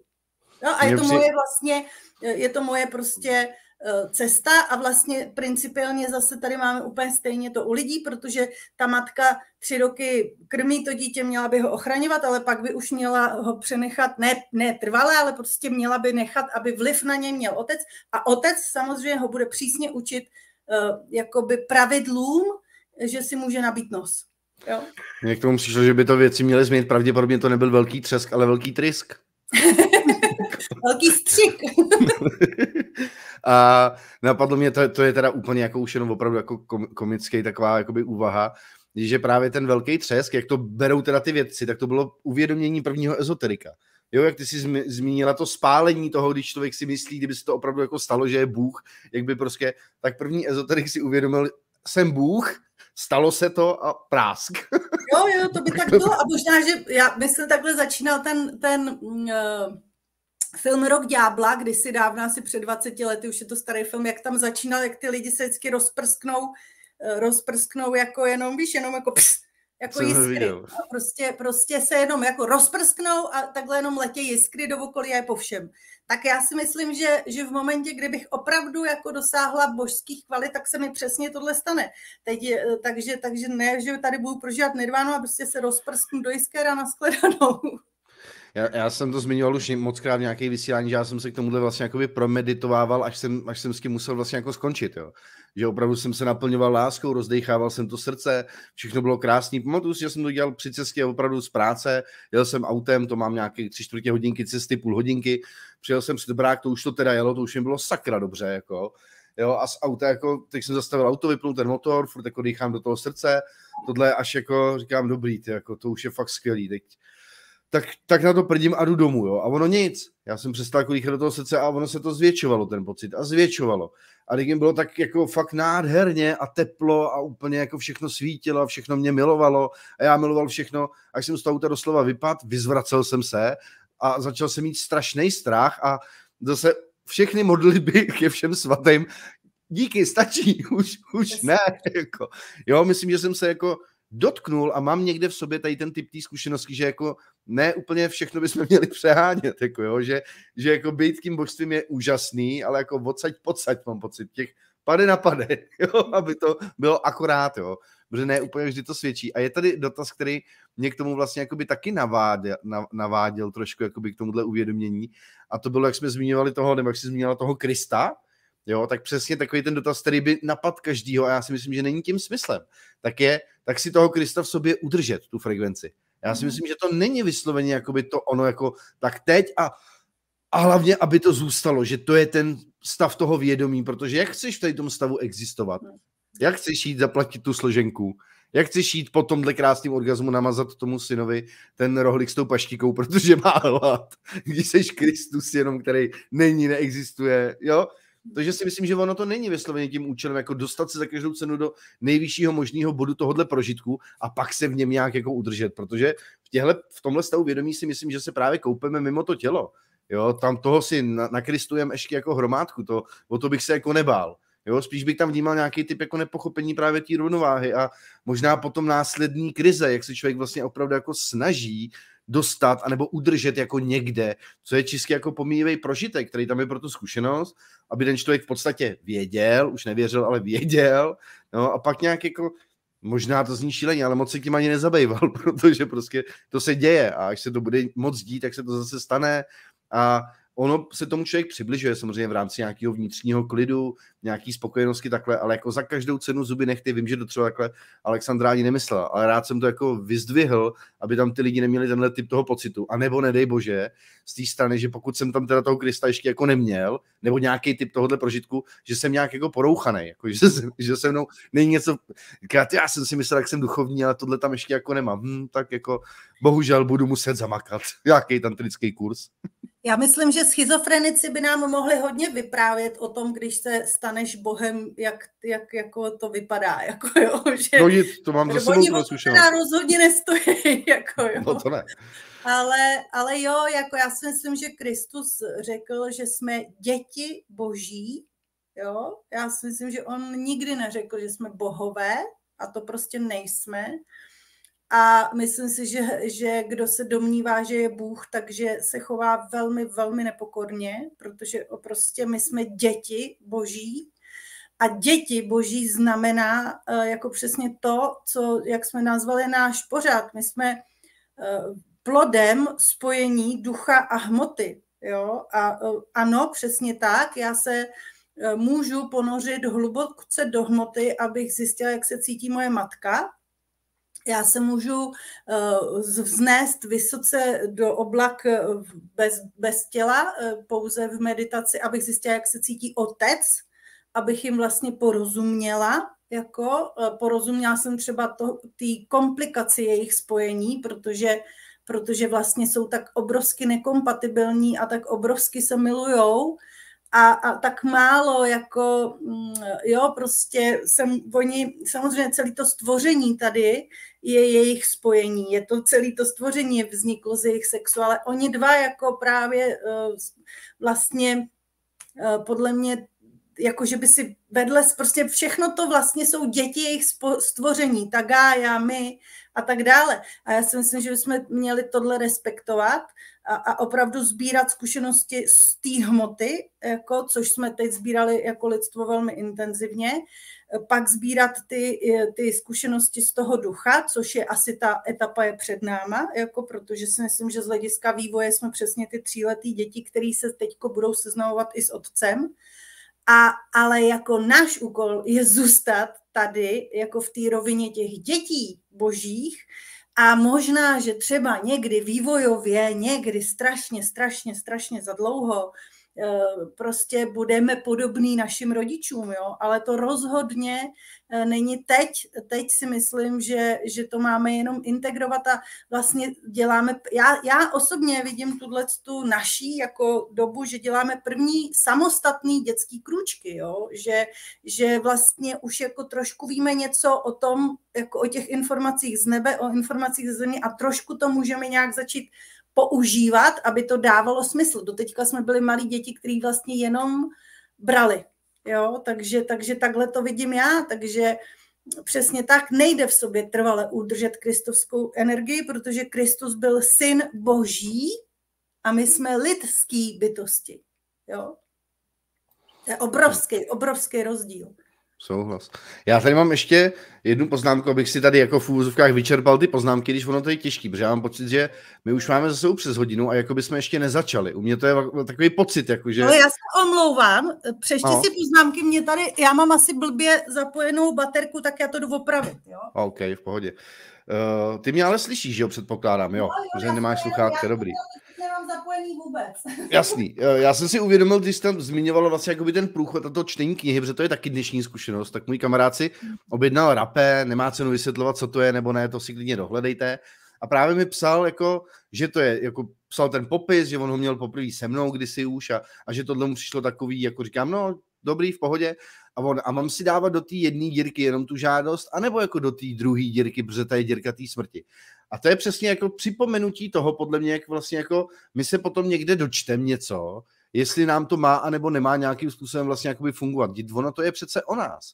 Jo, to znamená, proto jsem mu na to napsal, hele, jak ty budeš chtít, jako udělej si to, jak chceš. Jo, nedohledávejme pořád někde ty tendence toho, že to někde jako dočtu, nebo mi to někdo jako dovysvětlí, jak to mám mít já. Přece jak to mám já, tak to mám já, to je můj prožitek. Pokud si požádám takhle a takhle a ne, neděje se mi to nebo mi to nefunguje, no tak to nebudu dál používat. I kdybych to přečetl z nejsvětější knihy tady na té planetě.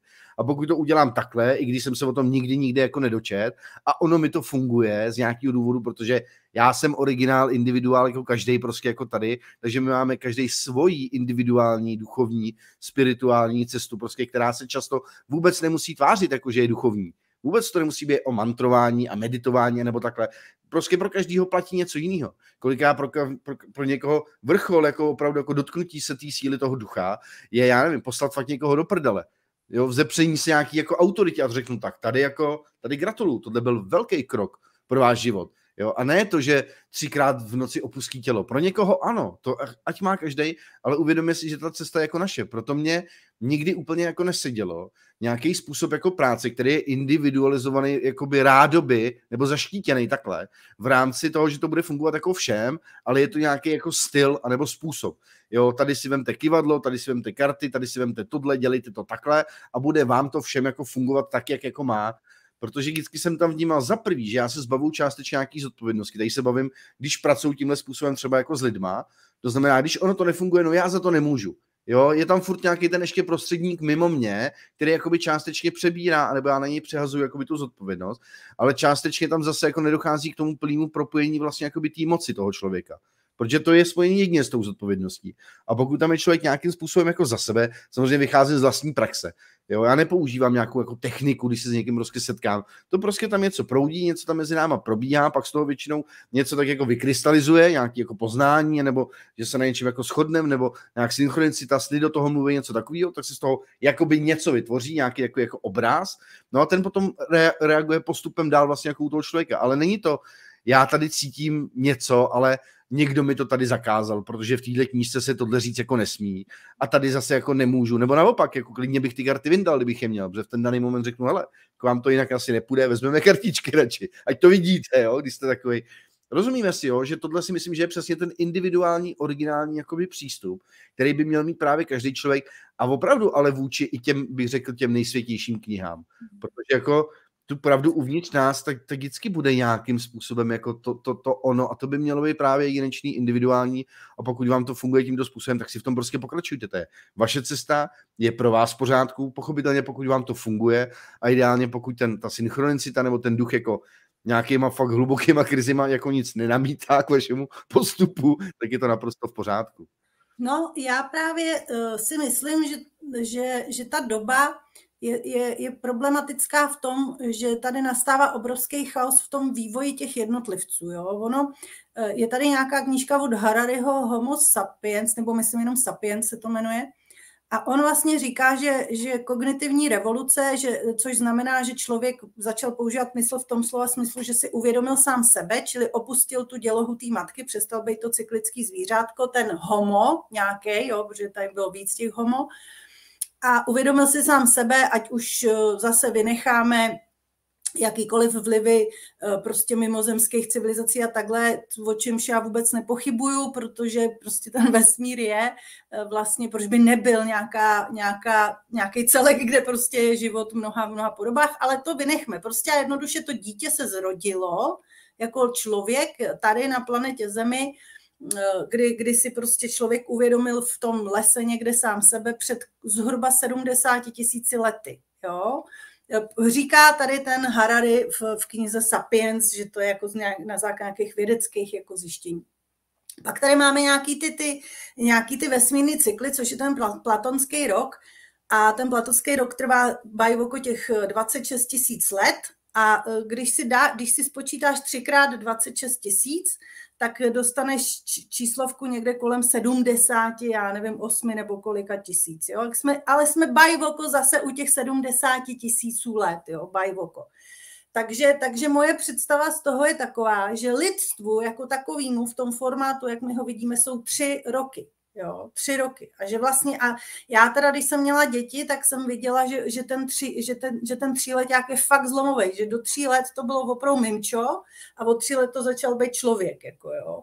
A my, my, se, my se jako lidstvo nacházíme, teda moje představa je, že lidstvu jsou tři roky, a teď si vem ty tříletáci, já mám kamarádku, která pracuje ve školce a vlastně, když vemeš na procházku tříletáky, tak je pomaličku opravdu musíš hlídat každý jejich krok, dáš jim ty vestičky a, a je ti jasný, že, že, ten, že ten svět kolem jich je nebezpečný, obrovský a tak se staráš o to, aby nevběhli do auto a pod auto a tak dále a tak dále, jo. Ale už tam máš nějakého čtyřletáka, pětiletáka třeba, jo, už je prostě vývojově dál a to, ten už jako fakt přemýšlí o něčem jiným a hrozně ho to nudí tady to, jo, tady ta ochrana, tady to, tady to půjde, chytněte se za ruce a pojeme všichni jedním směrem, jako jo, tak ten už si chce tamhle jako něco objevovat, tamhle už ho zaujali kaštánky a jde si je pozbírat a už ho jako napadlo, že si to, a ta učitelka je trošku jako rozčílená, protože říká, nemůžeš tady prostě opouštět tu řadu prostě, protože, jo, a já si myslím, že to lidstvo je v tomhle, v této fázi, takže ono tak nejde takhle univerzálně říct, protože já si myslím, že je tady opravdu ještě hodně lidí, eh, který potřebují, jako opravdu jsou to ještě ty tříletáci, eh, který potřebují vzít za tu ruku a odvést na to místo a tam nakrmit. Jo? A pak je tady už pár právě jako jich pěti, šestiletáků, který říkají, hele, jako já už si to chci dělat po svém, jako jo, a takhle.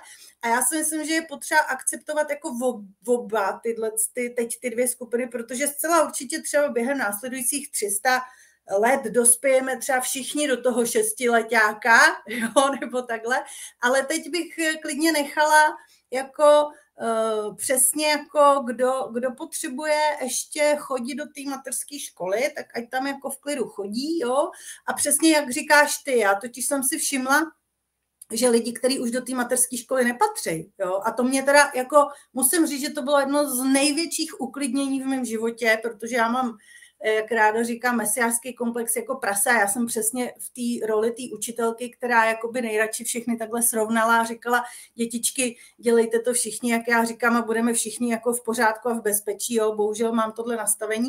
Nicméně mě spad obrovský kámen ze srdce, že můžu pustit ty víc vyvinutý, ať si dělají, co chtějí, protože vidím za ty dva roky úplně naprosto neprůstřelně, že život okamžitě dává zpětný vazby. Jo. A jestliže ten člověk do té mateřský už nepatří, tak je z ní prostě vykopnutý, ať se mu to líbí nebo ne, a je postaven před to, aby si to prostě nějak vyřešil. Jo? A on pak třeba opravdu vyhledává terapeuty takového typu, jako seš ty, který mu vlastně jenom, který s ním jenom hledá, jako jenom s ním hledá ty možnosti toho řešení, nikoli mu nabízí. Jo? Jenom s ním vlastně jako protože vždycky, když víc hlav víc ví, takže když se dva zamyslí nad tím, co by se dalo dělat, tak je to líp vymyslet. Takže tady a, ten, a opravdu z toho vesmíru a ta životní energie a jako kdyby ten otec opravdu tady začal jako fungovat a jako kdyby opravdu začal říkat, ty ještě běž k mamince do, do peřinek, jo, tadyhle do, do náruče, ty ještě ne, ale ty už tady pěkně padej ven a pěkně se uč. Jako jo. Já to vidím teda stoprocentně, že tohle probíhá, takže já jsem to takhle mohla pustit a říct si opravdu, ať si každý dělá, co chce, už za to nemám žádnou zodpovědnost. Jako e, jsou tady další bytosti, které načítají ten prostor a říkají, že se to přepolarizovalo, že se vlastně muž a žena vyměnili pozice vlastně, jo, opravdu já teda cítím, že i světlo a tma, že světlo jako proniká, že ono došlo na povrch, jako dejme tomu to kristovské světlo prošlo na povrch a proniká hmotou a zase ta temnota jako takhle stoupá nahoru. Prostě opravdu jako ve všech těch polaritách prochází k proniknutí a možná i takhle jako přehození. A vlastně, vlastně já teda cítím, jako, jak mám ten svůj mateřský komplex, protože ten mateřský komplex zachránit každýho za každou cenu je prostě těžce mateřský komplex, že jako matka eh, opravdu jsem takhle předala tomu otci a říkám, jo, tak si je vem a veď je. Jako jo. Já to prostě cítím u sebe intenzivně, že to tady proběhlo. No. To je krásně popsaný. Já, já souhlasím v rámci těch individuálních sezení, to takhle je vlastně jakoby často. Že to člověk jako vnímá, jestli jako udělal už dost. Jo, to je takový, to, to jsi mě vlastně jako naučila ty a to bylo, myslím, že v jedné větě. Jo, že si přesně popisoval, jak vlastně probíhá tvůj seminář, že jsi řekla, já tam přijedu, ze, ze sebe tam nechám všechno, co v daný moment můžu, ať si s kým ty lidi dělají, co vlastně chtějí a jedu. Jo, to je potom už jejich zase jako věc. A mně se tak hrozně ulevilo, že tam nemusím jako všem vyhovět, jo? že já jsem zodpovědný za to, co já tam nechám, nechám tam prostě jako maximum možného, co skrze mě tam může být projeveno, ale dál se tím nezaobírám, protože pak už to není moje věc. Jo, není moje věc, jak to pak lidi pochopějí, jak oni to praktikují nebo integrují. Tam nemůžeš s jakým člověkem dojíždět jako ob, ob, druhý den a jak si integroval toto. Ale takhle já to nemyslel. To mělo být takhle. Jo, to, na to už člověk jako nemá kapacitu nic a vnímat za to zodpovědnost za ty druhý lidi, to je neuvěřitelný tlak, který jsem právě i na sebe vnímal, potažmo i v těch individuálních konzultacích, jo? že člověk jako, když je vidět, že on to ten člověk úplně jako nepochopil, tak mu to do nekonečna vysvětlovat a z jiného úhlu pohledu. Pak říkám, no tak tomu nerozumíš, tak to nech bejt tak je to prostě v tobě, ono až to bude, tak to vykrystalizuje, ty to budeš spojený třeba s někým úplně jiným, nebo někde něco zahlídneš, ono ti to dojde, budeš to mít za svý třeba uvědomění, to je úplně jedno, na tom nezáleží prostě. Proběhlo tak to proběhlo, nechme to koňovi no, duchu. Ale i ty klacky pod nohy jako jsou házený, jo, jako z toho vesmíru, že dřív si člověk říkal, je, no tak tenhle člověk a ono jako se mu nic neděje, ale to už neplatí, jo. Teď prostě opravdu každý, kdo nejde prostě v nějakém řádu, tak, tak opravdu se mu děje to, co přesně má. Ale napadla mě tahle myšlenka, vlastně jsem tam taky připravila nějaký dotaz, který se toho týkal, ale já to teda teďko řeknu, protože to na to krásně navazuje, protože ten mateřský komplex, je vlastně jedna obrovská, jako kdyby neplecha, kterou teda trpí samozřejmě všechny ženy, protože každá žena má v sobě potenciálitu být matkou. A je to přesně tak, eh, jak eh, se tyhle věci teď tady dějou. A myslím si, že lidstvo opravdu opouští plenky a, a odchází jako trošku poznávat svět už sám za sebe a vede je ten otec, já to prostě takhle cítím tak mám pocit, že většina žen Eh, se zásadně, ale naprosto zásadně odmítá vzdát toho vlivu svýho, který má ta matka jednoznačně od 0 do 3 let toho dítěte, jo? protože prostě do roka je to dítě totálně v její moci, do roka, když ona takhle udělá, tak dítě je mrtvý, jako myslím tím jako nesu dítě, pustím dítě, mrtvý dítě, jo? jako vlastně to je absolutní stoprocentní jako božská moc, jako jo, kterou, kterou si na nevědomý úrovni ty ženy uvědomujou. Dobrý, tak do třech let ještě pořád to dítě tam jako, ale já ho furt jako zachraňuju, ho furt ho přidržuju, že ho furt ho krmím, furt prostě to dítě je na mě stoprocentně závislý, i když už má tu tendenci se trošku jako trhat. A e, a ty, vidím to, je tady obrovská jako neplecha mezi ženama, že, že e, že vlastně nemínějí tohle opouštět a obrovsky, ale opravdu obrovsky manipulujou kompletně všechno svoje okolí. Samozřejmě, že to začíná u sexuálních partnerů, protože my se bavíme o symbolickém mateřství, čili, eh, čili ne. A samozřejmě, že ten partner je pro ní ten, nad kým ona chce mít vliv, když teda, protože to tříletý dítě opustí vždycky. Že jo? Tak máme tady takové ty patologie, kdy ta matka nenechá vůbec to dítě jako nikdy ho jako nepustí, takže tady máme ty 30 letý, co se dějí furt doma. Ale pak je tady ta druhá, že když ji opustí, tak ona si udělá partnera ze svého, eh, teda pardon, no ano, ze svého partnera dítě a jede v téhle jako vlastně v tom ovládání, takhle já tě držím a tady takhle budeš. A používá k tomu samozřejmě velmi intenzivní manipulační nástroje. A to si myslím, že na to teď ty ženy taky obrovsky dojedou, protože tohle už nebude jako podporovaný v tom, v té změně. A bude to jako bude to velký peklo, tohle ty ženský budou prožívat jako velký peklo, že jim budou opravdu ty vytrhovaný z, ruka, z, z rukou, ty, který nechtějí pustit, prostě se vzdát svého mateřského komplexu. Takže to je ještě další věc, na to si dejte pozor. Ta manipulace těch matek, a matka je ta ona, ona to má prostě na nevědomý úrovni, jo? je to manipulativní žena, protože jenom nepochopila, že dítěti už jsou třeba, má ho nechat žít, jako jo, ale vlastně je to zase strašně složitá otázka, protože když mu byla nula, tak já jsem byla úplně naplněná vším, abych ho ochránila, zachránila, obětovala se úplně jako na smrt pro něj, jo, ale ve třech letech to mám odevzdat. To je vlastně jako hrozně jako taky těžký úkol, a ty ženy, které se tohle nenaučily, tak budou teď jako dost, bych řekla, vyšilovat. No. Protože já tam vnímám tu rovinu jenom takhle jako jemně toho, komu ho mám teda odevzdat, že jo? Tomu školství?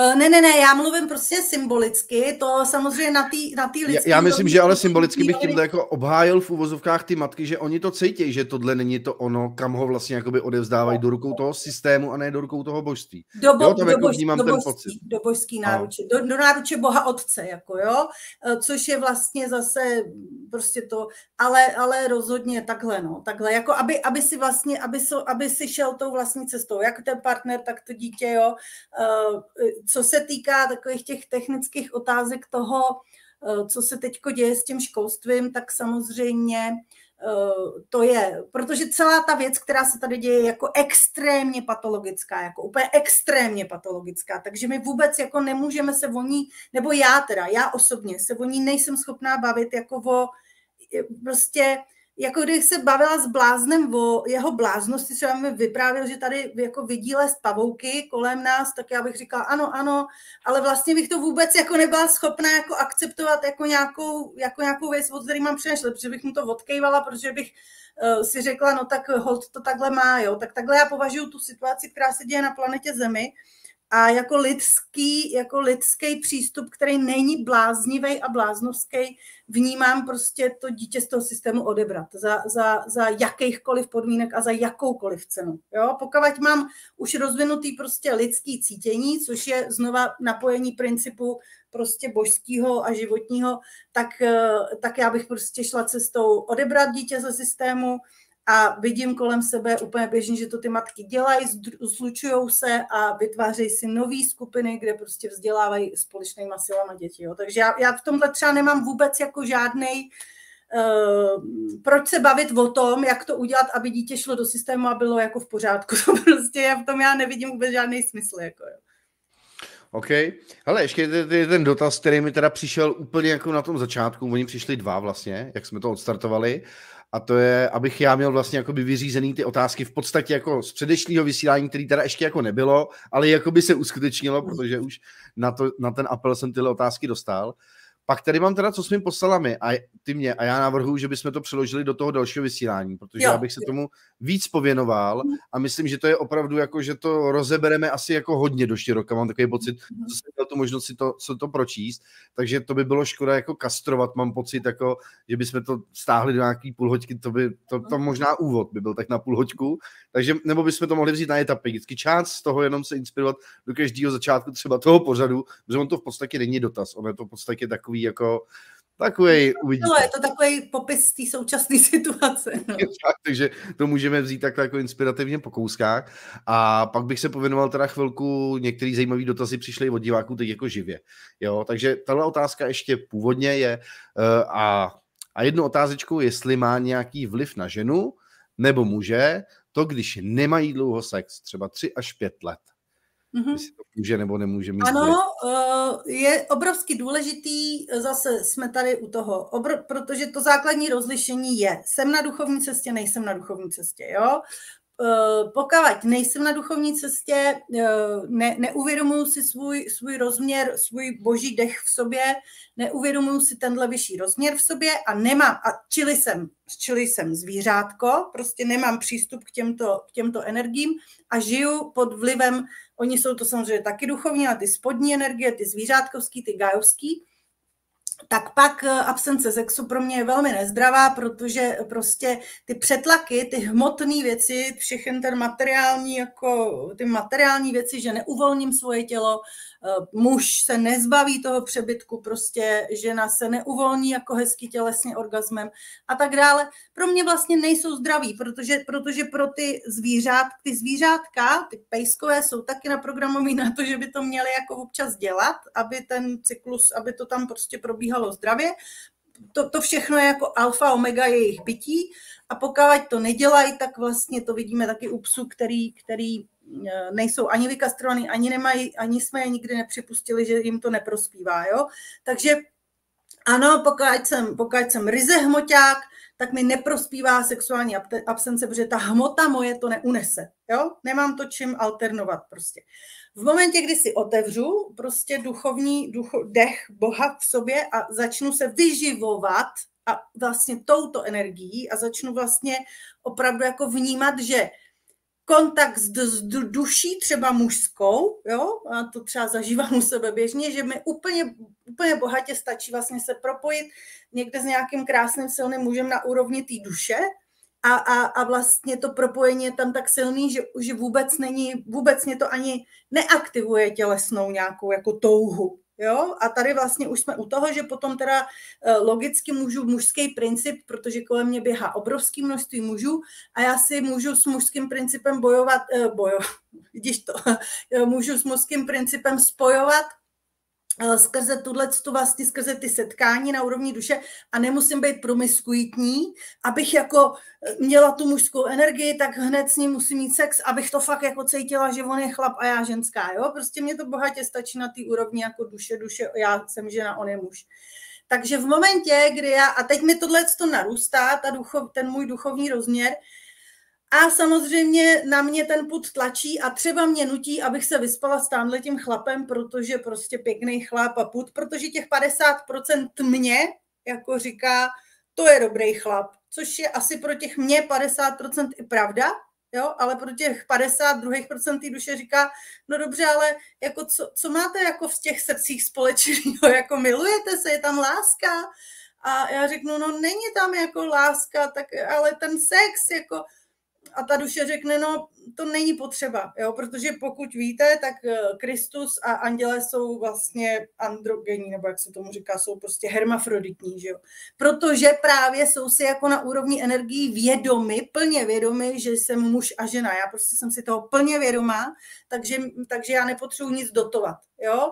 A v tomhle tom případě je velmi zdravý už, uh, už nejet podle pudových zákonů a vlastně opravdu mít lidně celibáty a absence sexuální 10 eh, let, prostě znám lidi běžně, ty ženy dneska vstupují do celibátu, protože bez lásky nejsou schopní mít sex a muži v současné chvíli nejsou vlastně moc schopní se otevřít pro lásku, takže běžně ty ženy eh, ne, ne, nepracují, ne, nemají prostě sexualitu s mužem, jo? oni třeba mají meditace, tantry a tak dále, ale ne s mužem, protože bez lásky vlastně pro ně už není možný mít ten sexuální styk. A to by se museli zastřelit, protože dneska ta láska tady moc jako nefunguje. Takže, takže, takže zase se na to musíme dneska prostě začít dívat těma dvouma jako pohledama, co mě vlastně do toho sexu žene. Jo? A je to, říkám, je to úplně běžný a vlastně, a dokonce, dokonce zase až teďko za tyhle poslední dva roky, co se změnil radikálně ten prostor kolem nás, mi mnoho žen na duchovní cestě sdílelo, že jsou na duchovní cestě, pracují na sobě, přesně meditují, bla, bla, bla, zvyšují synergie, jsou spojený s božstvím a tak dále. A potom prostě jednoho dne ten put prostě zahlásí, oni se s někým vyspějí, jako naprosto před deseti lety nic proti ničemu, jo, bum, a druhý den jsou nemocný. Mají nějaký prostě docela závažný nemoc, jo, mají prostě záněty močáku, mají prostě opravdu jako onemocně, jo, jim špatně to, to jejich tělo jako radikálně řekne, tohle já nechci, jako jo, protože si vlastně jako opravdu tím zvířecím jako stykem si vlastně infikují tu duchovní energii, kam došli, jo.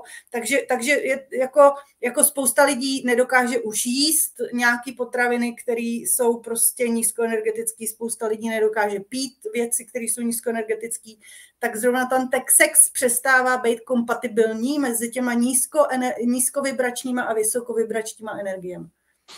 to je paradox, mě tak napadlo k tomu, že vlastně, jak se prodávají ty energetické nápoje, že jo? tak to je ta reklama, že ty jsou ty energetický a vlastně je to to nejméně energetický, co by tady vlastně mohlo být. Podle mě to je snad jedno nejhorších věcí, co se dá pozřít, jako tady v téhle hmotě. To vytáhne tu energii, ne? No, úplně to je hrozný bruto. Tak ty Jsi vlastně hyperaktivní a, a vlastně, vlastně rychle ze sebe tu energii zase mu, jako vydáš, že jo? Na dluh pěkně, no, pěkně. Jako drogy v podstatě takový jako legální. A on Takže se doporučuji to... zase si zhodnotit, jak jsem na tom, jo, protože už ta pravda, že prostě, protože říkám, zkuste prostě si uvědomit, opouštíme dobu hmotnou, takže pravda před deseti lety, že absence sexuality vedla, protože jsem byla rizí zvířátko, ano, to je pravda, ale v momentě, kdy se už přerodíte, tak vlastně absence sexuality je naopak v pořádku, jo. Mě, mě to potom, potom mi to začalo vlastně jako dávat smysl, že opravdu, když už je člověk otevřený něčemu jako vyššímu, tak toho naplňuje samo o sobě a oni mizejí v podstatě jako téměř veškeré potřeby. Proto si myslím, že potom, už i věřím tomu, že ty lidi, jak to často zmiňují ty pránici nebo někdo takový, že opravdu nemají potřebu jako jíst Oni si jenom to užívají, můžou to mít, ale nepotřebují to jakoby. Jo, ač chápu, že ne úplně každý, někdo o tom jenom mluví, někdo to tak opravdu žije, to je dost zásadní jako rozdíl, protože tvrdím, že to nepotřebuju a pak si to jako někde v skrytě o to víc jako sítím, jo, a to může být i ta sexualita přesně, jo, že si můžu hrát na to a známe to v té církvi, že tam to asi evidentně nefungovalo, když tohle jako na ordinu na každého, ale možná tomu, kdo s kým prvotně přišel, tak omu, jemu to asi fungovalo, akorát to ty ostatní zase blbě pochopili, nevzali to po svém, ale vzali to čistě v tom příkladu jako ano, tak teď nikdo, protože to je fuj. Ano, ano. A třeba to bylo myšleno prvotně dobře, jo? Určitě, Tím strádáním se nějak jako dostanete k něčemu. Já si to taky myslím, že to původně bylo myšleno dobře, ale vlastně fakt ještě kdo to nebylo připraveno to pole. Proto teďko opravdu říkám, eh, dosyťte se, čím potřebujete, ale vězte, protože za mnou chodí ženy a říkají, já jsem přestala potřebovat sex, jsem zablokovaná, ale vlastně je to vždycky na té individuální jako rovině, kdy, kdy si o tom popovídáme a zjistíme, jestli je zablokovaná, protože klidně i k tomu, jako ano, to se klidně může stát, že je zablokovaná, anebo teda vůbec není zablokovaná, jenom je nasycená vlastně těma energiema natolik, že opravdu hledá pouze lásku, nikoli, nikoli sexualitu. Já tady vezmu ještě poslední poznámku, co tady mám u sebe, a to jsem si napsal toho lva. A ono to souvisí jakoby s tím psem, jo, jak jsem tady zmiňoval, jak tady chodí. A já mám jednoho takového jako známého, nic proti němu, je skvělý a myslím, že o něm můžu jako hovořit, on za první na to videa vůbec nekouká, ale hlavně jsem to samé, co říkám, tady řekl i jemu. Jo, tím si myslím, že to je jakoby v pořádku, že ho jakoby nepomlouvám, říkal jsem to jemu. A on je takový, bych řekl, hodně, hodně to má postavený na tom, jako čím víc toho jako ojede, bych řekl, tím více jako cítí, ale přitom je evidentně, jak mu to nefunguje, protože pořád o tom mluví, ale vlastně si na to furt skyžuje. Já jsem mu tady říkal, mám pocit, že se vlastně jenom chlubíš, jo? že o nic jiného v podstatě jako nejde, protože to je vlastně každý rozhovor naplněný ze 70%, když mu dáš volný prostor tady tím, ty co já mám dělat, já už to nezvládám, hele, tři tamhle, dvě tady, ty a teď jako tohle. Tak jako samozřejmě to ve mně evokuje nějakou zvědavost, říkám, ty a jak to doma funguje a tohle, jo, protože normálně líbí se mi, že on není naivní a říká pravděpodobně moje partnerka postupuje stejným způsobem, ale jsem rád, že to nevím. Kontakt je zase fér, jako když to vyhovuje obou, jo, a, a nejsiš blbec, víš, že to pravděpodobně to ona má postavený úplně stejně a ještě vy sami doma, tak mně přišlo, že to je takový ten, ten, ten starší model toho, jak my si hrajeme na ty mača, že jsme to měli spojený s tím, jako, jako byl tím lvem, tím králem těch zvířat, které jako když chce, tak si zajde, jo, a že to nás dělá vlastně jako někým. Ale proč jsem to zmínil? Mně připadá, že on čím dál tím víc tohle jako žije a do nějaké doby mu to určitě fungovalo a to je i starší, myslím, že než já, nebo jsme hodně podobně tohohle věku, kdy už by to plus minus si myslím mohl mít trošku jako srovnaný, tak mu to nespůsobuje nějaký jako drobný jako problémy v tom životě, že by s tím byl tak jako trošku v nesouladu nějak jako, ale že mu to způsobuje dost výrazný problémy v tom životě. A to nemyslím, že by mu na to někdo přišel, že to takhle dělá. To jako by bylo úplně v pohodě.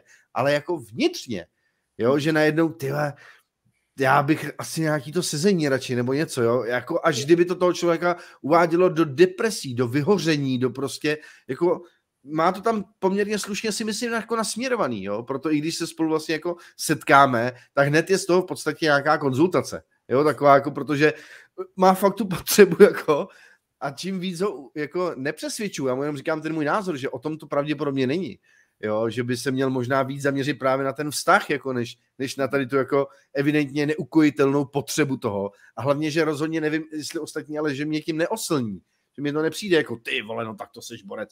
To, to bych takhle chtěl mít taky. Jo, někde tam pod tím povrchem, hm, ty Nemá to asi úplně špatný, ale jako celý bych to nebral, jako s tím vším to, je to přesně, co jsi zmínil, jako muži, kteří eh, jako opravdu disponují nějakou silou a fakt opouštíme to teprve, teprve to opouštíme, jo? Kdyby, kdyby jsme se spolu bavili za 300 let, tak ti řeknu, co je to za debila, jo? Ale my to prostě teď úplně opouštíme teprve a jsme zvyklí na to starý, jo? Takže doteďka tyhle ty muži opravdu byli ty lvy. Prostě to tak bylo. A všichni jsme jako na to koukali, říkali jsme, wow, jako to je teda lev salonu, když se to i říkalo, lev salonu, že jo. Takže ta setrvačnost tady je. Žijeme v hmotě a hmota má setrvačnost, jo. A samozřejmě přesně, jak říkáš, ta duše na něj ze, ze, jako buší zevnitř a říká, hele, pojď, pojď to zkusit trochu jinak. Ale myslím si, že všichni máme dost možností právě to jako zkoušet a tak. Mě na tom, takže mě to přijde vlastně úplně, já naopak vidím u těchto z těch lidí s tou silnou sexualitou jako obrovský duchovní potenciál, jo? akorát oni se musí zbavit toho starého a to někdy trvá. Ale co já zase vidím za to ženský pole, a zrovna jsem měla uh, teďko prostě úžasnou konzultaci s ženou, který bylo 24 let a prostě takže a ona říkala, já se dívám kolem sebe na svoje kamarádky, na, na, svoji, na svoji mámu, na svoje jako na, na ženy a vidím, vidím jenom jedno, vidím obrovskou závislost na mužích, jako obrovskou, jo. A, já, a řekla mi to, já jsem z toho byla překvapená, protože já tu závislost na těch mužích vidím už dlouho, vidím jako to, jako alfa omega problémů víc, víceméně úplně všech žen, bez výjimky, jo. Takže jak má ten muž závislost na tom být ten lev, těch, těch, těch salonů a být ten král a, a ten, který se nestane králem, tak má komplexy, že je šašek a prostě to tady furt jako jede do kolečka, tak u těch žen vidím jako problém, jako obrovskou závislost na mužích a teď mě obrovsky překvapilo, že si to všimne 24-letá holka, to bych opravdu jako nečekala.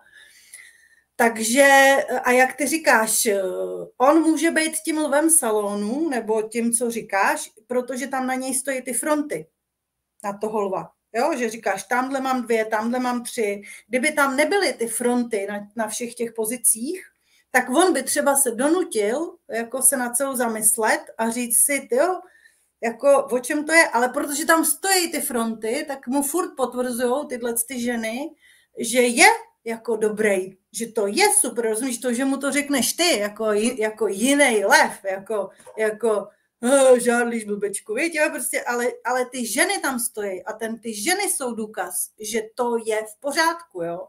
Takže já spíš zase apeluju na ty ženy, jako už se na to jako vykašlete, protože vy si všechny stěžujete na to, že ty muži jsou, jakože to nějak s nima jde z kopce, ale furt na ně stojíte frontu, úplně takhle, úplně jako slintáte, kde bude jako nějaký chlap, jo, místo abyste řekli, mě už tahle forma toho muže vlastně nezajímá, mě zajímá muž, který bude schopen se otevřít, jo, a ne který bude schopen šukat první ligu, jako, jo. Takže a to se zatím neděje ani na tom ženském poli moc jako, moc jako široce, takže, takže já tam vidím zase tuhle složku, víš, že, že dokud mu to budou potvrzovat ty ženy, tak on to bude dělat, protože ty, proč ne? Ty se z toho úplně krásně dotkla, protože on mi tohle potvrzuje, on mi říká, hele, a, a už tam někde mu to i věřím, jo, že to není jako, že si to ještě já chudák furt ty na mě skáče nějaká ty na každém rohu. Ale je vidět, že už s tím opravdu má trošku jako problém, že, že mu to vadí v podstatě. Že vlastně do toho nemá pokoj, jo. A on mi to popisuje. Kolik mu je, mimochodem? Jak, jako mě, podobně, myslím, že 36, 38. Ono něco, to je totiž ještě, kolem, jako. no, ono totiž do těch 35, u některých jako výjimečných jedinců do těch 40, ale pak, eh, hele, ženy jsou principiálně jako by vstřebávací a muži eh, principiálně jako odstředivý, že jo? Žena je dostředivá, muž je odstředivý. Čili do 35 má člověk sil prostě co se do něj vejde, ale od těch 35-40 se tenhle mechanismus začne projevovat, že s každým tím sexem muž odevzdává svoji sílu té ženě, ta žena roste a on chřadne, jo? A proto ty chlapy už jako potom začínají říkat, jo, jako, víš, jako, jako je ten vtip, já prostě miluju naprosto ten vtip, jak, jak, jak stroskotá loď s chlapama, na ostrově pustým a tamhle o kousek dál je, je ostrov vlastně nymf, na, nahý nymfy, plný ostrov prostě. A ten 20-letý tam takhle kouká a říká, přeplameme tam a všechny je ošukáme. A 30-letý říká, tak přeplaveme tam, že jo, a ošukáme si každý jednu, že jo. A 40-letý říká, a tak, teď oni by mohli přeplavat sem. A 50-letý říká, bacha, vole, už jedna plave. jo, a to je přesně tenhle, to, to je tenhle princip, protože, protože my jsme jako dostali do 35 všichni všeho dost, jo. Ale princip, jako že muži odevzdávají ženě, souloží svoji energii, je, je faktický, to je prostě pravdivý princip. A po té 30, 35 jim to začne docházet, že jo. Proto muž potom usne. Já teda mám no, opačný, já jsem s tímhle nikdy jako netrpěl, já jsem tomu nerozuměl, jako, že potom je ten člověk unavený, já se potom cítím nabitej, ale já jsem taky víc trochu ženská spíš než chlap, paradoxně. Dobře, ale ty už jsi duchovně napojený a čerpáš ze zdroje, jo? My se tady v tomhle případě bavíme, když čerpáme jenom z gáji, jenom z té zvířátkovské životní energie. Ale ještě jsem si chtěl dotknout toho, tohohle příkladu, protože já jsem ani neviděl, že to takhle krásně jako rozvedeme, jo, že to je super. To aniž bych nějak jako podceňoval. Tak v tomhle případě mě ještě velice zaujalo právě tenhle člověk, on disponuje právě třeba v rámci jakoby svého podnikání, to nebudu rozmeza, rozmazávat, a nějakým způsobem uh, poskytuje služby, které já využívám, každý je prostě potřebuje. A já si neumím představit, že už bych to svěřil někomu jinému než jemu. Mhm. Protože on je v tom prostě perfektní. Jako člověk je unikátní a je zvláštní, že já bych ho definoval poctivostí v tom, co dělá. Jo, přitom vlastně jako paradoxně je to obrovitánský skin, ta jakoby nepoctivost, že je vlastně nepoctivý, ale funguje to skvěle, funguje to právě geniálně a je unikátní jo. tenhle člověk. Jako. Bejt, bejt králem, bejt lvem, bejt králem a pro muže a pro, pro v sexuální oblasti je toto důkaz, jo. Ale pokud přejdeš do duchovní roviny, zjistíš, že ten král jo, je, má opravdu spíš tu kristovskou energii, ale lev má tuhle energii. Jo? Takže dokud ten člověk se neotevře duchovní cestě, tak si myslím, že to jako, že přesně jak říkáš, jeho lidská rovina bude perfektní. Jo, já to taky vidím u těch sexuálně zdatných lidí, že, že to tak je, že to je vlastně obrovská síla připravená k transformaci. Jo ale on prostě bude perfektní člověk a dokud se ne, neotevře duchu, dokud se neotevře duchovní rovině, tak prostě bude muset svou sexualitu takhle žít, protože to je platný pro krále, pro lva. Jo, a on prostě potřebuje žít jako král, ale teprve až se otevře duchovně, tak bude chtít žít tu, to království nebeský, jako, a to bude vypadat trochu jinak. Ale rozumíš, tam ta, ta sexualita říká, máš k tomu potenciál. Máš potenciál být král jo? Nebo eh, vidím to u žen úplně stejně, takový ty, takový ty uh, tyhle ty, takový ty ženy alá děvky, konec konců děvka byla vysoce postavená knižka, alá děvky s tou energií ty děvky, oni se s tím narodějí prostě, to není jako, že by to ze sebe udělali, tak jsou vlastně potenciálně nejvyšší duchovní, jako když to přetransformujou, tak vlastně jsou to duchovní jako uh, lídři, jo, tyhle lidi. Je zvláštní, že opravdu jako naše setkání hodně rozmluvy probíhají v tomhle duchu, by se dalo říct, jako co, co ty vlastně zmiňuješ. Teď jsme ještě připomněla takhle k závěru taky věc. Já jsem teda nevěděl, že to někdy budu jako zmiňovat, ale je to velice zajímavý a, my, a bylo to součástí třeba jakoby toho rozhovoru, který jsem měl, když u mě byla přítomná jedna, nevím, jestli dáma říct, nebo tak. A opravdu jsme se bavili o tom, že já jsem byl po celou dobu vlastně opravdu velice silně vzrušený jako co, co probíhala naše konzultace. A bavili jsme se o tom, protože si myslel, že pokud to takhle působí na mě, pravděpodobně to působí takhle i na ostatní. A přišlo mi to u ní jako zajímavý, že si mi doporučil se zaměřit na tady to, že, to, že se mi to nestává teda jako zdaleka, ani, ani ne často a rozhodně ne v takové intenzitě. Jo. A ani tam neprobíhala vysloveně nějaká fyzická přitažlivost, si myslím, ani z jedné strany. Já říkám, ty takhle ale prostě působíš na ty lidi ty jsi to teda pojmenoval jako ta děvka, to já bych neřekl, jako jo, ale, ale něco tam... Ale pozor, děvka, děvka je původně uh, označení pro vysokou já, kněžku. Právě, ale nechtělo se mi to tam úplně jako vysvětlovat, jo, říkám, ty tam prostě v tomhle máš obrovitánský jako potenciál s tím pracovat. A my jsme se na tom i shodovali, protože ona si hrála s tou myšlenkou, že by něčemu takovým věnovala tu pozornost, nebo jí to vždycky šlo, už si to úplně jako nevybavuju, jo. ale právě, že to bylo i v rámci té konzultaci zajímavé říkat, ty o tom přece jako nemůžu mluvit, to musím potlačit. Říkám, proč bych to potlačoval? Dít jako tady něco probíhá mezi náma a to musíme pojmenovat, protože to je něco, co ten člověk právě třeba neví vůbec, aby si to uvědomil, že jo? nebo aby jsme o tom vlastně jakoby mohli hovořit.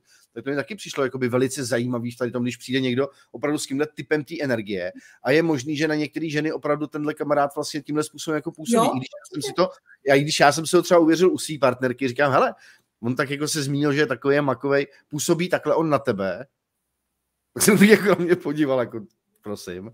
Nevím, třeba lhala, nevím, ale říkala, že teda ne, že tímhle způsobem na ní nepůsobí. To si myslím, že má zase ty priority třeba možná už trošku jiné. Ale to fakt nemusí být ani kompatibilní energie, jo, ale opravdu to tak je, že, že ta vlastně taková ta, to je právě ono.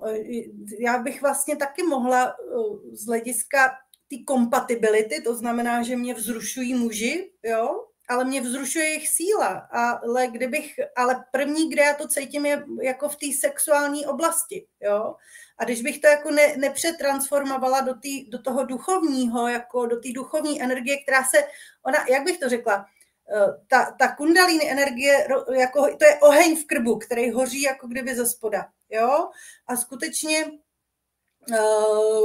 když je to prostě jenom ta kundaliny, jenom ta zvířecí, jenom ta nízká první tři čakry, jo, tak je to jenom oheň, který ty tam do toho krbu strčíš ruce a spálíš se, jo.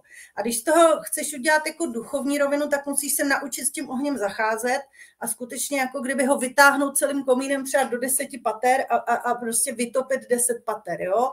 Takže on nabere jako kdyby obrovsky na síle, když se to jako naučíš, ale hoří rozhodně o tamtud, jo. Rozumíš, roz, rozhodně hoří ze spoda, v tom lidství, jo, a spojí se s tím horním nebeským ohněm, to se propojí a udělá se z toho prostě š, š, šmuňk jak v, jak v komíně a začne to mít obrovský grády celý, jo.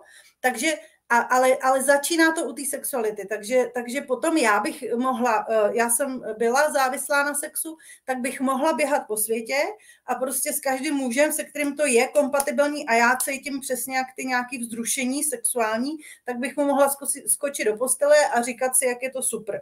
A nebo se, jsem mohla tu energii prostě spojit s tím horním tahem, protáhnout to a vlastně věnovat se kreativitě a už mě, ne, už mě jako vlastně ne, že bych to dál v těle necítila, že, že mě muži vzrušují a přitahují, ale už mě to neruší. Vůbec. Vůbec mě to neruší. Je to, považuji to za úplnou samozřejmost, že takhle to prostě je a že to vůbec nic jako neznamená. To, že to znamená, že ten muž je nositelem nějaký silný energie, ale rozhodně ne, že je to můj potenciální manžel za týden, že jo? Nebo milenec, nebo něco takového. Mm-hmm. Protože my prostě nerozumíme těm energetickým principům, furt jsme fakt, fakt strašně v té hmotě, furt jsme zasekaný v tom, v tom jako v tom strašně malým, jo, takže já, tady Jana Radová, tamhle se mi líbí, tamhle Pepa, no tak hned musím mít Pepu, protože něco cítím, jo, ale to je blbost, to jsou prostě úplně nějaký božské energie, které se prostě potkají, zareagují na sebe a zase jdou od sebe, přesně jak říkáš ty na té konzultaci. A mimochodem je úžasný, že to říkáš, protože tohle se těm mužům podle mě děje a proto si myslím, že tolik těch terapeutů ty muže potom na ně, jako na ty ženský potom skočí. Jo, jo, no, je to zajímavý. Je tady pár dotazů, asi tři, které mi přišly opravdu zajímavé, aby jsme to zase neprotahovali do nekonečna, jak já jsem vybral tady ty.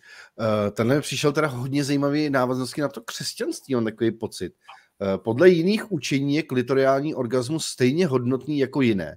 Záleží jen, jak se k tomu přistupuje. Brána klitorisu bývá spojena s Márí Magdalenou.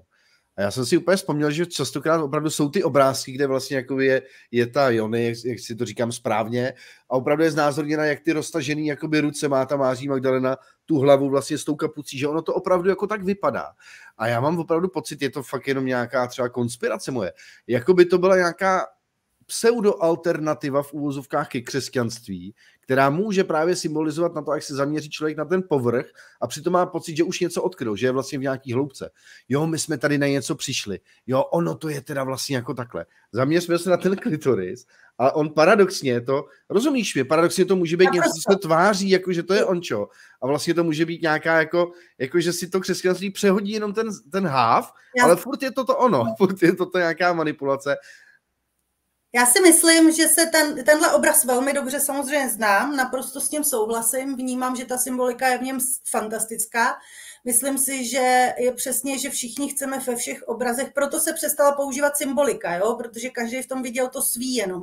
Takže já můžu v té symbolice vidět, že je tam zdůrazněný klitoris, ale já se dívám na tu symboliku toho, že tam, že klitoris má, ta, ta Maří, ta, ta, to není Maří, to je Pana Marie, že ho má prostě na hlavě a tam kde, tam, kde má břicho mezi těma rukama, tak tam má ten vstup do té jony, naší lidský, takže, takže tam je ta jony, je tam znázorněná celá a prostě e, ta opravdu naše, naše pohlaví, naše vagína je opravdu složená z těchto dvou částí. Ten hlavní chrám je uvnitř v těle, dokonce to je opravdu děloha, čili e, ten dokonce není přístupný ani té ženě, ten ta je uzavřená, zcela uzavřená v břiše, úplně stejně jako jádro matky země je zcela uzavřený prostě hluboko v zemi a nikdo k němu nemáme přístup.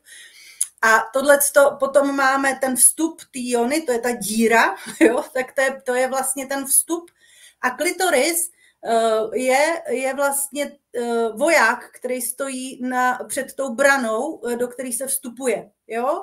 A klitoris říká, Eh, pojď mě dráždit, eh, já tam zahoukám trubkou dovnitř, do, do chrámu, aby se tam všechno připravilo pro tvoji návštěvu, jo?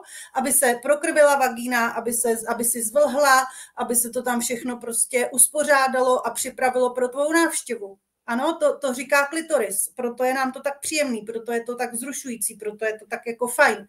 To všechno je v pořádku, protože zase je to ten ženský princip, je to spolupráce. Takže klitoris eh, říká dovnitř a potom teda, když je hodně dobrý sex, tak přes cervikus, přes, přes čípek dochází vlastně k tomu orgazmu, který vstupuje energeticky až do dělohy. Jo? Takže tam je, tam je nutná veškerá spolupráce. Jakmile se zaseknu na klitorisu, eh, vůbec, eh, vůbec to není naprosto nic proti ničemu, naprosto nic proti ničemu z hlediska jakýhokoliv jako náhledu na sexualitu, já si to užiju, ale měla jsem sex s tím vojákem před bránou.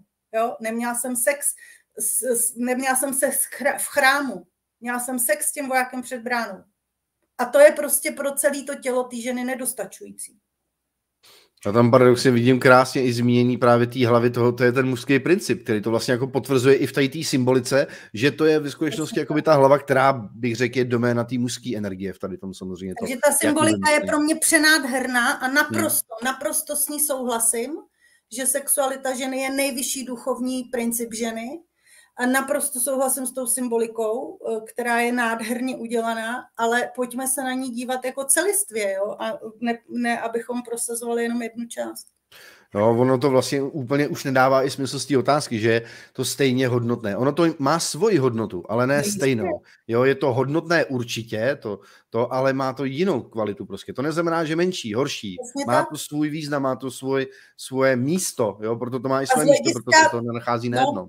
Z hlediska příjemnosti je to velmi příjemný, z hlediska morálky to je úplně, prostě morálka je úplná jako kravina, jo, to, co tady je ta morálka toho světa, kterou nabídnul člověk, ale z hlediska energií, z hlediska energetických toků, principů, na, kterým, na základě kterého tady žijeme, vlastně ta, a všichni, všechny ženy znají, ty, co umějí, ty, co mají klitoridální orgasmus, moc dobře vědí, že probíhá úplně stejně jako u muže, že se honí, honí, honí klitoris a pak jako kdyby je to takový to buch ven a konec, že, po, že po, po, po, potom už se na něj nesmí šáhnout na ten klitoris, je předrážděný, je prostě přecitlivělý a tak dále. Zatímco vaginální orgasmus je opravdu takový to jako rozplynutí se, jo. Takže tady i, i, i, i mechanicky je je zřetelný, že klitoridální orgasmus se chová úplně stejně jako výstřik u penisu prostě. Je to jako nahoru, nahoru, nahoru, buch, konec a výdej energie jako ven, nikoli dovnitř, čili tu ženu to podvyživuje energeticky. Ona se prostě, ona stejně, ona vlastně uh, naplňuje svůj mužský princip a stříká svoji energii ven do světa.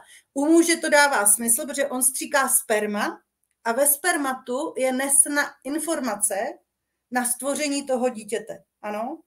Takže on, ob, jeho oběť je obětovat tu hmotu tím výstřikem do prázdna.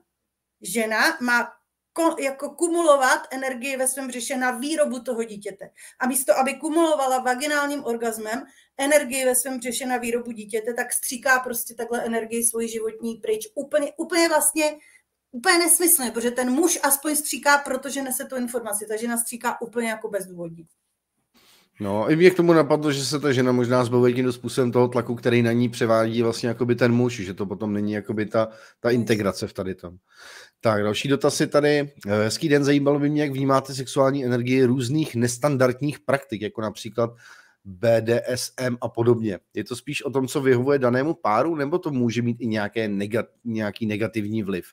Já myslím, že to v rámci jako toho, jestli když je to v úvozovkách v rámci nějakého jako násilí, i když dobrovolného, jestli to nějak nedegraduje jakoby tu energii, která tam teda v ten daný moment probíhá. Jako. Jo, jestli když je to z lásky, jestli to nějak jako ne, nezešpiní jakoby tu, tu lásku, když je to s byčíkem. Uh, jako skvělý dotaz, děkuju.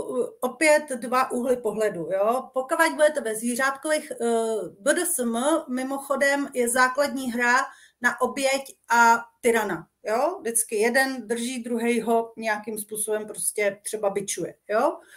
Eh, já jsem prošla několika výcvakama BDSM a eh, pokud se k tomuhle tomu, k této otázce přistupuje vědomně s tím, eh, že člověku dojde, že poslední 2000 let my tady žijeme výhradně hru na oběť a tyrana, nic jiného než hru na oběť a tyrana, tak, tak se může z praktik BDSM stát jedna z nejléčivějších, opravdu nejléčivějších a nejtransform, nejvíc podporujících transformaci technik, které vůbec existují.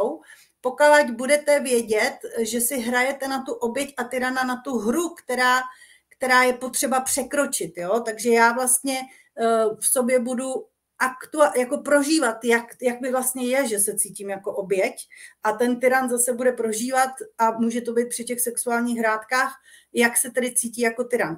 V momentě, kdy budete praktikovat BDSM jako zvířátka, a asi pravděpodobně te víte, že když eh, takzvaný tyran lev honí takzvanou oběť antilopu, no tak to skončí zlomením vasu. Vazu. Vazu. takže, takže víte, že takže pokud budete hm, praktikovat BDSM jako tuto hru, tak vězte, že dřív nebo později vám to zlomí vás oběma. Jo, oběma ale pokud se na to opět začnete nahlížet jako na duchovní rovinu a prožívat ty energie, které jsou v nás nastřádané a vlastně, které se tímhle můžou léčit a čistit, tak pak je to, pak je to jako velká věc. Hmm, nádherný, jak tam jsou přesně ty dva směry, že vždycky záleží vlastně jako na té dospělosti v podstatě, nebo té připravenosti v tady tom. A zrovna, co jsme si zmiňovali, nebo co jsem ti zmínil před tím začátkem, tak včera jsem udělal právě nějaký dokument o nějakém sériovém vrahovi, který právě začínal tímhle způsobem. Nejdřív pouta, nejdřív tohle a pak mu to v podstatě zlomilo vás i všem těm vlastně, kteří byli tomu přítomní, protože to ty ženy prostě stálo život.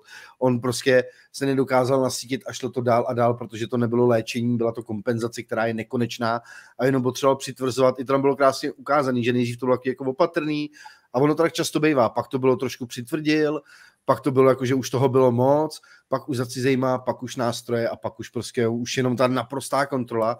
A v tom rozhovoru bylo zajímavé, že on v tom možná hledal v té šílenosti a možná nacházel právě ten smysl, protože on tam potom popisoval v rozhovoru s nějakou psycholožkou, že on se v tom prostě cítil jako Bůh, když už měl tu naprostou kontrolu nad vším, co prostě udělá nebo neudělá ta žena, šlo to za toho extrému, co jemu i těm slečnám v tomto případě prostě srazilo doslova jakoby ten vás. To je to hodně A, ale zároveň, zároveň opravdu při prožitcích přijímání bolesti třeba, protože celý tenhle svět je postavený na absolutním odmítání bolesti, absolutně nechci prostě bolest žádného charakteru. A když se kontrolovaně opravdu já nechám někým bičovat a, a nastavím se na, to, na tu ochotu přijímat tu bolest, jo, a ten člověk, který mě bičuje, ne protože je agresivní, ale protože chceme mít ten prožitek, tak musí permanentně on nekontrolovat jako mě, ale sebe, aby nepřekročil hranice toho, co já unesu takže v momentě, kdy to probíhá tímhle tím způsobem, tak se tam otvírají vlastně takové roviny, že já můžu zase vlastně prožívat stavy změního vědomí a tím pádem jako kdyby e, vlastně jsou to transformační stavy, kdy opouštím tělo a vlastně uvědomuju si zase ty, ty vyšší principy. No. Jo, já jsem teď měl i možnost několikrát jakoby si psát, nebo se setkat s člověkem v tom případě.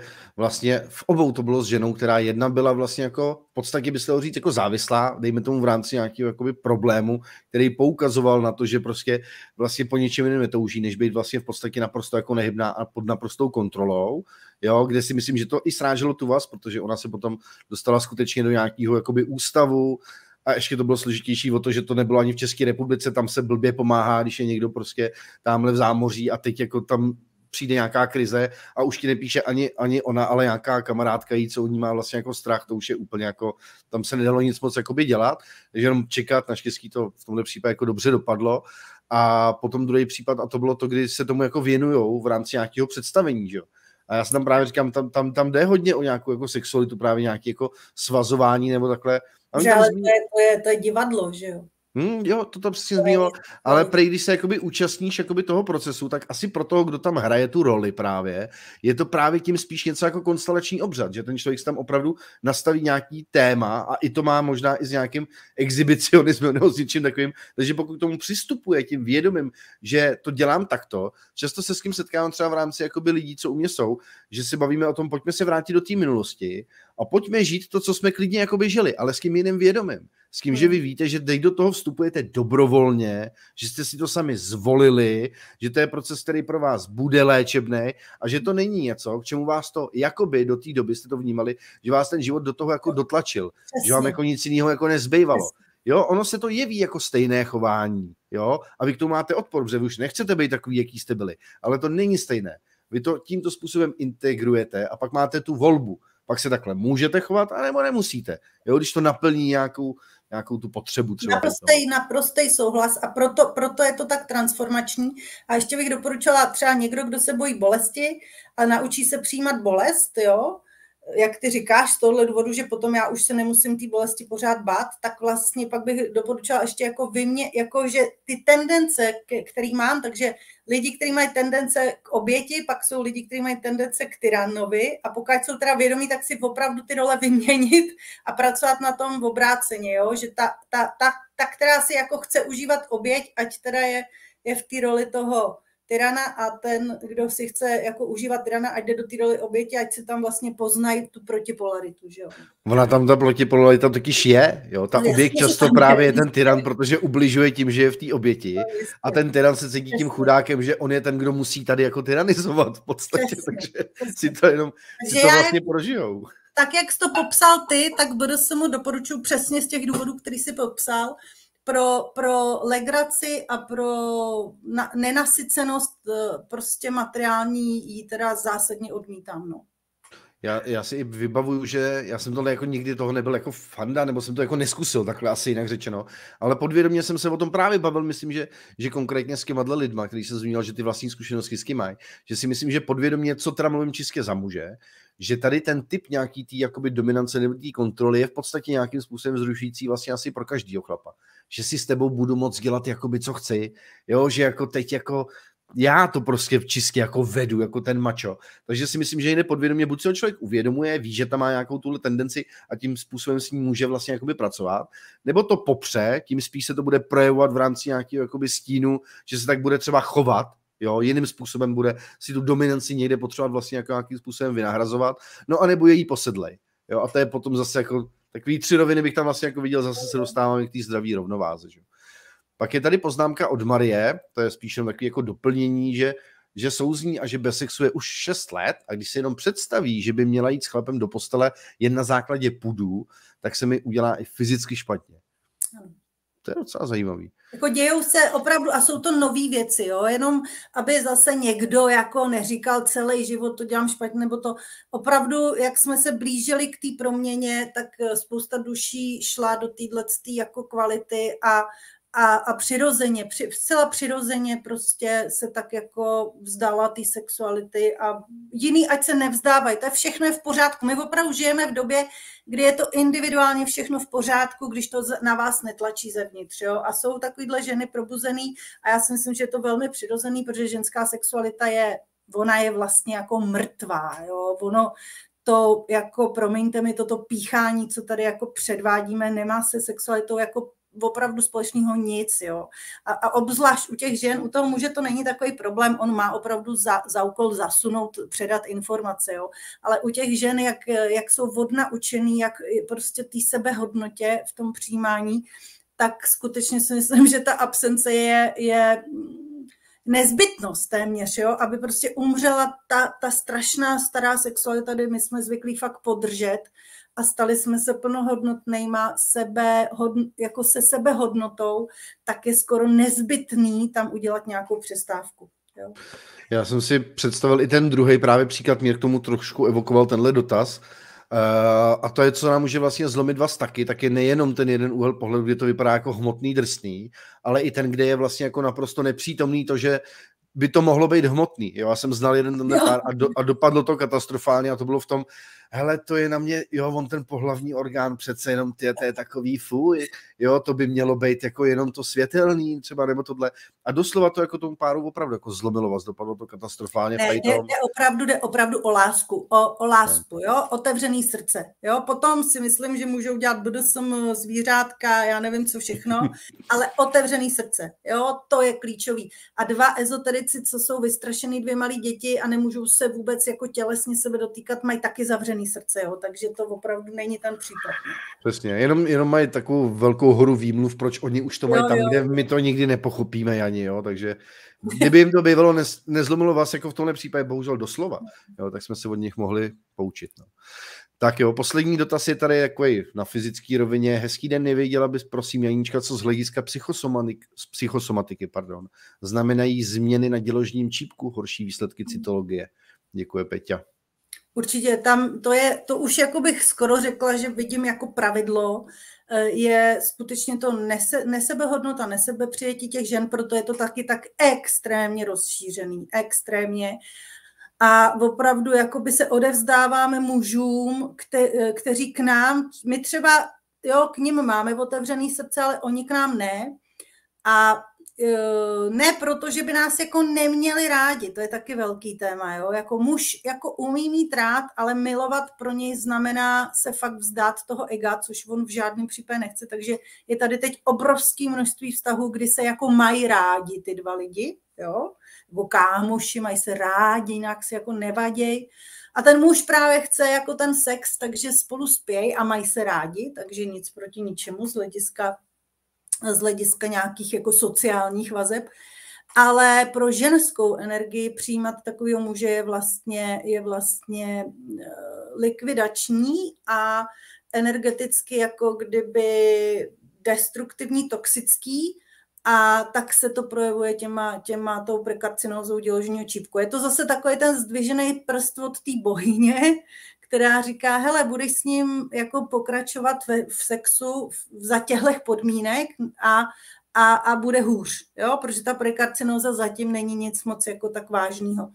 A uh, takže opravdu vlastně nás to nutí k návratu sama k sobě, protože a fakt jsme zapomněli. My jsme opravdu jako máme v totální temnotě, jak dělat sex my ženy. Jo. Opravdu, věřte mi, že, že ta pravda je tak strašně vzdálená od toho, co dneska děláme. Takže ty sexy prostě budeme se to muset přenaučit a ty prekarcinozy. A to je to, co říkám, jo? Když je nějaká žena jako hodně zvířátkovský energie, klidně i její duše je jako, že mladá, je tady chvíli na té planetě, tak jako moc to tady nezná, no tak ať si sexuje s kým chce, rozumíš? Já jsem si taky před tisíci lety sexovala, s kým jsem chtěla, jako jo? Takže jako v pohodě ale, ale ta, ta, jakoby ta starší duše, která už má jako větší stav vědomí, tak tý to prostě není dovoleno. Ta jako, tam je řečeno, hele, to už jsi se jako odžila, tady nějaký tohle sexování jako zvířátko, pojď dál, jo. A proto některé ženy můžou být fakt promiskuitní, můžou být něco všechno a nic. A pak je jiná žena, která tadyhle jenom spí s chlapíkem, který, který ho má ráda, ale úplně tam není taková nějaká velká láska, není, respektive není tam otevřený srdce z obou stran, bum a prekarcinoza. A jiná bum a rakovina, jako jo, rovnou, protože a jiná prostě ještě něco horšího, protože její duše je na cestě tak daleko, že jí není dovoleno nějaký začátečnictví. Jo, naschledanou. A bohužel v té sexualitě, pro, ta sexualita je prostě pro ženu duchovní rovina a ona si nemůže dovolit přešlapy prostě. A takhle jí toto tělo jako říká zpátky, hele, přešlapuješ prostě.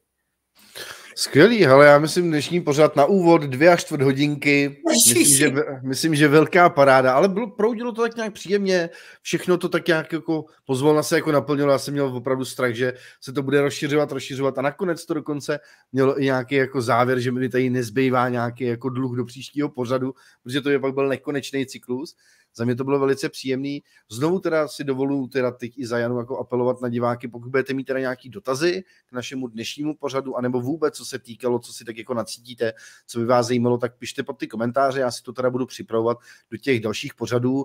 My máme v plánu plus minus, ale uvidíme, jak se to bude mít, že by jsme měli tak jednou za měsíc to vysílání, to si myslím, že by bylo tak jako adekvátní. Uvidíme podle nějakého harmonogramu, ať tvýho či mýho, jak tam to prostě bude vycházet, ale plus minus to takhle jako dodržet. S tím, že moje představy bylo nějaký zatím takový roční cyklus, nějakých takových jako 12 pořadů. Kdyby to bývalo vyšlo, myslím, že by to bylo ideální, ale můžeme klidně pokračovat, nebo to může být klidně kratší, když tam přestaneme vnímat třeba ten smysl. Tohle necháme samozřejmě na tom prostoru. A na závěr, kdyby náhodou tebe někdo neznal, já to mám vždycky u každého pořadu s každým hostem a budem to opakovat i tady. Eh, všiml jsem si momentálně, že u tebe nějaká novinka, že ty tam máš dokonce, nebo Klárka mi to říkala, když tady nedávno byla, se jenom tak zastavili, že tam budeš mít nějaký pravidelný jako setkávání. Tak o tom, jestli by si promluvila, kde lidi najdou tvý weby, kde lidi můžou koukat na videa, ať už původní, co jsme zmiňovali právě třeba s Krištofem, nebo tvůj YouTube kanál, sociální sítě, cokoliv, prosím tě, buďte hodná, práskni to na sebe, čemu se věnuješ a kde to lidi najdou. Ale já, já mm, mám web sexualita ženy.cz, tam na ně mám nějakých pár svých vlastních akcí, miluju tady eh, naše šamanské cesty v Peruci, velmi doporučuji, ale velmi často jsou velmi rychle obsazený.